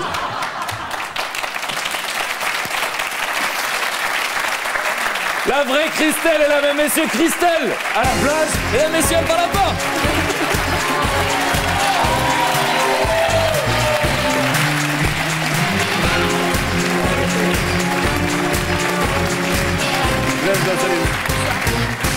Allez, installez-vous, Christelle. Vous étiez le running gag de la soirée. et Il y a des tas de gens qui travaillent avec moi. Je peux pas tous les citer, mais Charles Ludon a eu cette bonne idée qui vous a Ah, fait non, rire. eh, T'as kiffé ou quoi Hein T'as kiffé Ils ont été gentils avec toi Ouais, et tout ça va, ça va, ça va. Ils ont été gentils. cool, ouais. Ouais, ça va. Donc, non, non, c'est- non, donc c'était Martine à la plage, etc. Je rappelle pour les téléspectateurs qui nous rejoignent que Christelle était donc en CM2, vous étiez ensemble. CM1, CM2. Et, et donc, ouais. vous confirmez, vous l'avez raconté spontanément tout à l'heure, donc c'était un de vos premiers râteaux. Mais euh, c'est un de mes plus beaux râteaux, puisque j'en parle. J'en parle encore aujourd'hui. Et vous Mais à l'usure, Christelle, on sera vieux. Je viendrai dans ta maison de retraite et je, je frapperai à ta porte. Non, mais je, je, je crois que. Elle incarne cette, cette enfance à- J'incarne le râteau Massy. Vous Non, non, non. Oh, Christelle Non, mais. Va faire de la scène. Elle, elle est, le, elle est vraiment le. elle- c'est un, un souvenir, c'est pas simplement une fille, c'est une amie, c'est une, cité, c'est un immeuble, c'est une cour de récréation, c'est des copains, c'est une ambiance, c'est une famille. Parce que moi, j'ai toujours été impressionné par la famille de Christelle, parce que tu as combien de frères et sœurs adoptifs? J'ai trois frères et et j'ai trois sœurs. On est sept enfants. Oui, voilà. Et, à l'époque, l'adoption, c'était un truc différent d'aujourd'hui. Et c'était une famille où la porte était toujours ouverte, tout le monde. C'est une famille très généreuse elle-même. Et tu es euh, éducatrice aujourd'hui. Ouais, C'est des gens qui, qui ont toujours été généreux. Moi, j'étais admiratif de cette famille. Puis ça me ramène à mes racines, là où j'ai grandi. Parce que là, aujourd'hui, on se la pète, on monte mes copains, et c'est des chanteurs, et c'est des mecs connus et tout. Mais moi, j'arrive de, de, de, de, de- de cet endroit. Je parle pas de toi en te montrant du doigt. j'arrive de, de, de Massy. Et, si on ne sait pas d'où on vient, si on oublie d'où on vient, on ne peut aller nulle part. Vous l'avez Et- vous l'avez découvert quand, ça? Ah bah, je l'ai cette- découvert. Cette notion-là, euh, cette idée-là. Je, je l'ai jamais perdu cette notion-là parce que j'avais ma mère pour me le rappeler une fois par semaine. mais il y a des moments où on pète un peu les plombs, mais c'est normal. Personne n'est préparé. Comme Maréval disait tout à l'heure, du jour au lendemain, Elle est Miss et toute la France la connaît. Elle se balade, elle passe à la télé, elle se retrouve à la foire au cochon, tout le monde la connaît. Elle est... Mais c'est vrai, c'est la réalité. Elle- on n'est pas préparé à cette notoriété, à cette lumière. Je dis pas que c'est un enfer, je dis c'est très agréable. Mais ça on n'est pas préparé, on pète les plombs. Et on n'avait pas de quoi manger au restaurant. Et d'un coup, les restaurants, ils vous servent la, la meilleure table. Donc on se dit, mais où je suis? Où est la vérité? Et ben heureusement qu'on a des amis et des gens pour vous rappeler, oh, détends-toi, euh, que tu passes à la télé, je m'en fous. Moi, mes potes, ils me disent, je m'en fous. Ce qui m'intéresse, c'est qui tu es au fond de toi. C'est vrai qu'il vous impressionne pas? Pas trop, non. C'est le vrai de l'époque. En fait, moi, j'ai pas l'image de. Enfin, Arthur, pour moi, ça veut rien dire. En plus, je regarde pas la télé. Et euh, pour moi, euh, c'est Jacques, quoi. Alors, C'est l'époque où on était ouais. petits. euh, Attends, et là, il y a un mystère que je voudrais percer. 15 ans de télé, elle m'a jamais vu à la télé. Et il y a, y a un- Je comprends mieux l'humilité maintenant? Euh, Il y a un mystère que j'aimerais percer. Il vient jouer une des premières de son nouveau spectacle, La Massy Palaiso. Il parle de vous sur scène et vous n'êtes pas dans la salle. détesté, je La t'ai boulette. détesté. Et vous n'êtes pas dans la salle. Non mais sérieux, qu'est-ce que vous aviez à faire euh, je partais en vacances. J'ai- Écoute, c'est un événement. Je reviens dans ma ville natale. C'était au mois de septembre. Je- ça faisait 20 ans que j'ai pas mis les pieds là-bas. Je monte sur scène. La salle est pleine à craquer. Il y a toute la ville qui est là. Tous les copains, les profs, l'école entière est là. Et j'ai dit, Christelle, es-tu là Et j'entends son frère qui est là et qui dit, elle est pas là Mais c'était pour moi inimaginable qu'elle soit pas là. Moi, j'avais prévu une musique pour te faire monter sur scène. J'avais prévu un truc, je me mettais à genoux, et j'entends son frère, elle s'est barrée en vacances, elle t'embrasse Ça rend humble. Mais elle est venue ce soir. Merci beaucoup. Merci beaucoup. À tout de suite. Mesdames, Messieurs, Christelle, la vraie.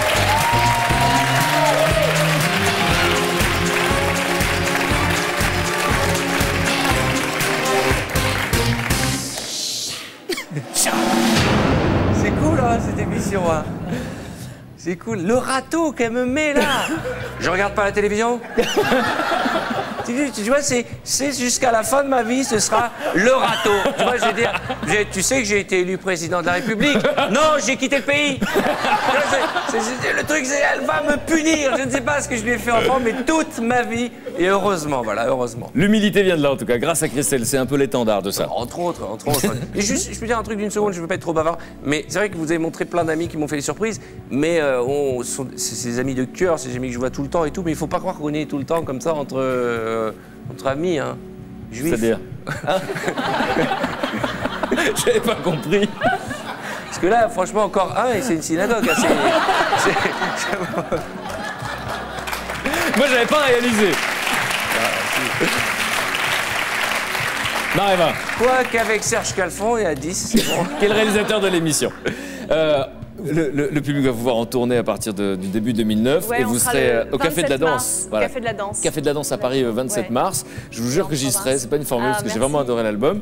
Mais euh, avant qu'on fasse découvrir les complices, je voulais demander à Arthur rapidement, à la fin de cette émission, en quoi vous avez découvert des aspects de, de, de Mareva? Elle va dire la même chose de vous dans un instant, juste pour voir si vous avez vu des tas de choses d'elle que vous n'aviez pas vues avant. Écoutez, euh, je- après euh, le temps passé à ses côtés, je pense que c'est une fille qui est euh, d'une extrême sensibilité que je n'imaginais pas.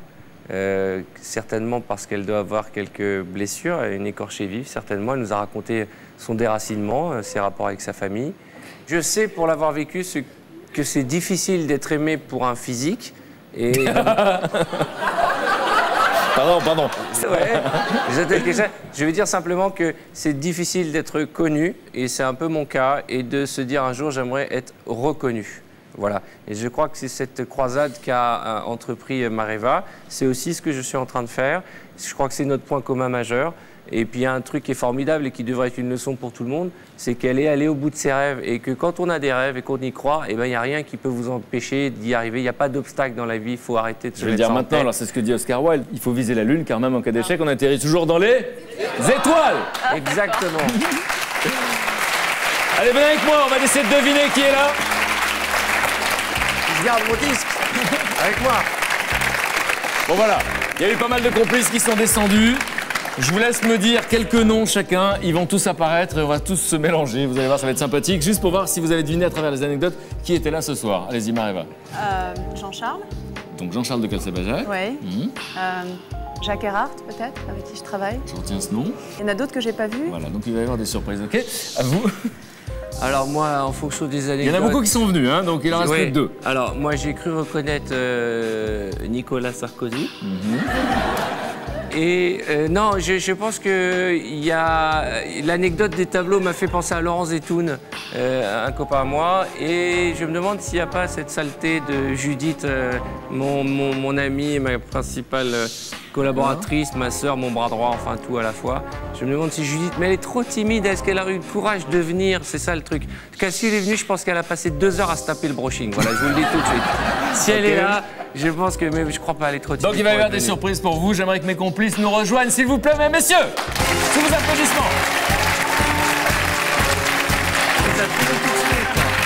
Là, il en reste, il en reste. Nicolas Allez, venez vous asseoir, venez vous asseoir.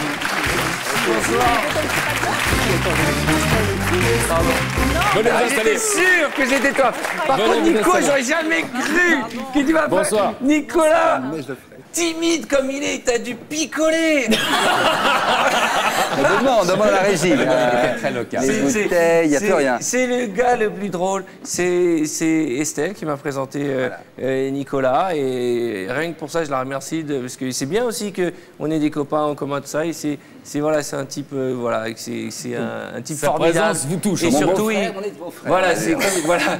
Et, et- et puis surtout cette coupe de cheveux. Cette coupe de cheveux magnifique. Tous ça, mes copains euh, ont là. cheveux. Et Judith, je l'ai reconnue qui a fait Alors, le brushing. Judith, c'est quand même une histoire incroyable parce que vous vous connaissez à 18 ans. Incroyable qu'elle soit 18 venue. ans. C'est vrai? Expliquez Ah ouais. pourquoi. Parce que d'habitude, elle me balance les surprises des autres. Et là, elle est venue. C'est pour ça que la Elle a rien dit, vous ne saviez pas. Non seulement je savais pas, mais j'ai essayé de t'appeler avant l'émission, euh, ça, ça répondait pas, je comprends maintenant. Non, alors, parce que j'ai- aussi la chance d'avoir des gens qui veulent pas profiter de la lumière, voilà, qui aiment bien être dans l'ombre. Et puis surtout, la belle histoire, moi j'ai découvert ça en préparant l'émission, c'est que vous connaissez à l'âge de 18 ans. Ouais. Aujourd'hui, c'est une de vos plus proches collaboratrices. C'est la directrice générale de, de mon groupe. Ouais. Voilà, donc ça, ça- et ça- et ça- on dit quitté. beaucoup. Mais, mais ça veut dire aussi que la fidélité envers ses amis et même ses collaborateurs, ça n'a pas de prix et que si on n'a pas des, des- des fidèles compagnons, et ben on prend le mur tout de suite. Moi, je vous dis, la seule qualité dont je puisse me vanter, c'est d'avoir eu la chance d'être bien entouré. Bon, on peut applaudir parce que c'est beau. Alors justement, vous savez que je, je ne pouvais pas répéter la moitié des interventions de Jean-Charles. Parce qu'il est tellement amoureux, je me dis, elle va deviner qui est là. C'était que des compliments. On peut dire, non mais il faut dire que vous êtes super admiratif de son talent et de son exigence. Et surtout de cette détermination, euh, comme l'évoquait aussi Arthur, de cette exigence, parce que euh, euh, c'est vraiment euh, une sorte de, une vraie force qui, qui, qui fait bouger les montagnes, quoi. Non, c'est vrai. Et vous l'avez beaucoup, beaucoup dit. Il avait peur qu'on le dise pas assez.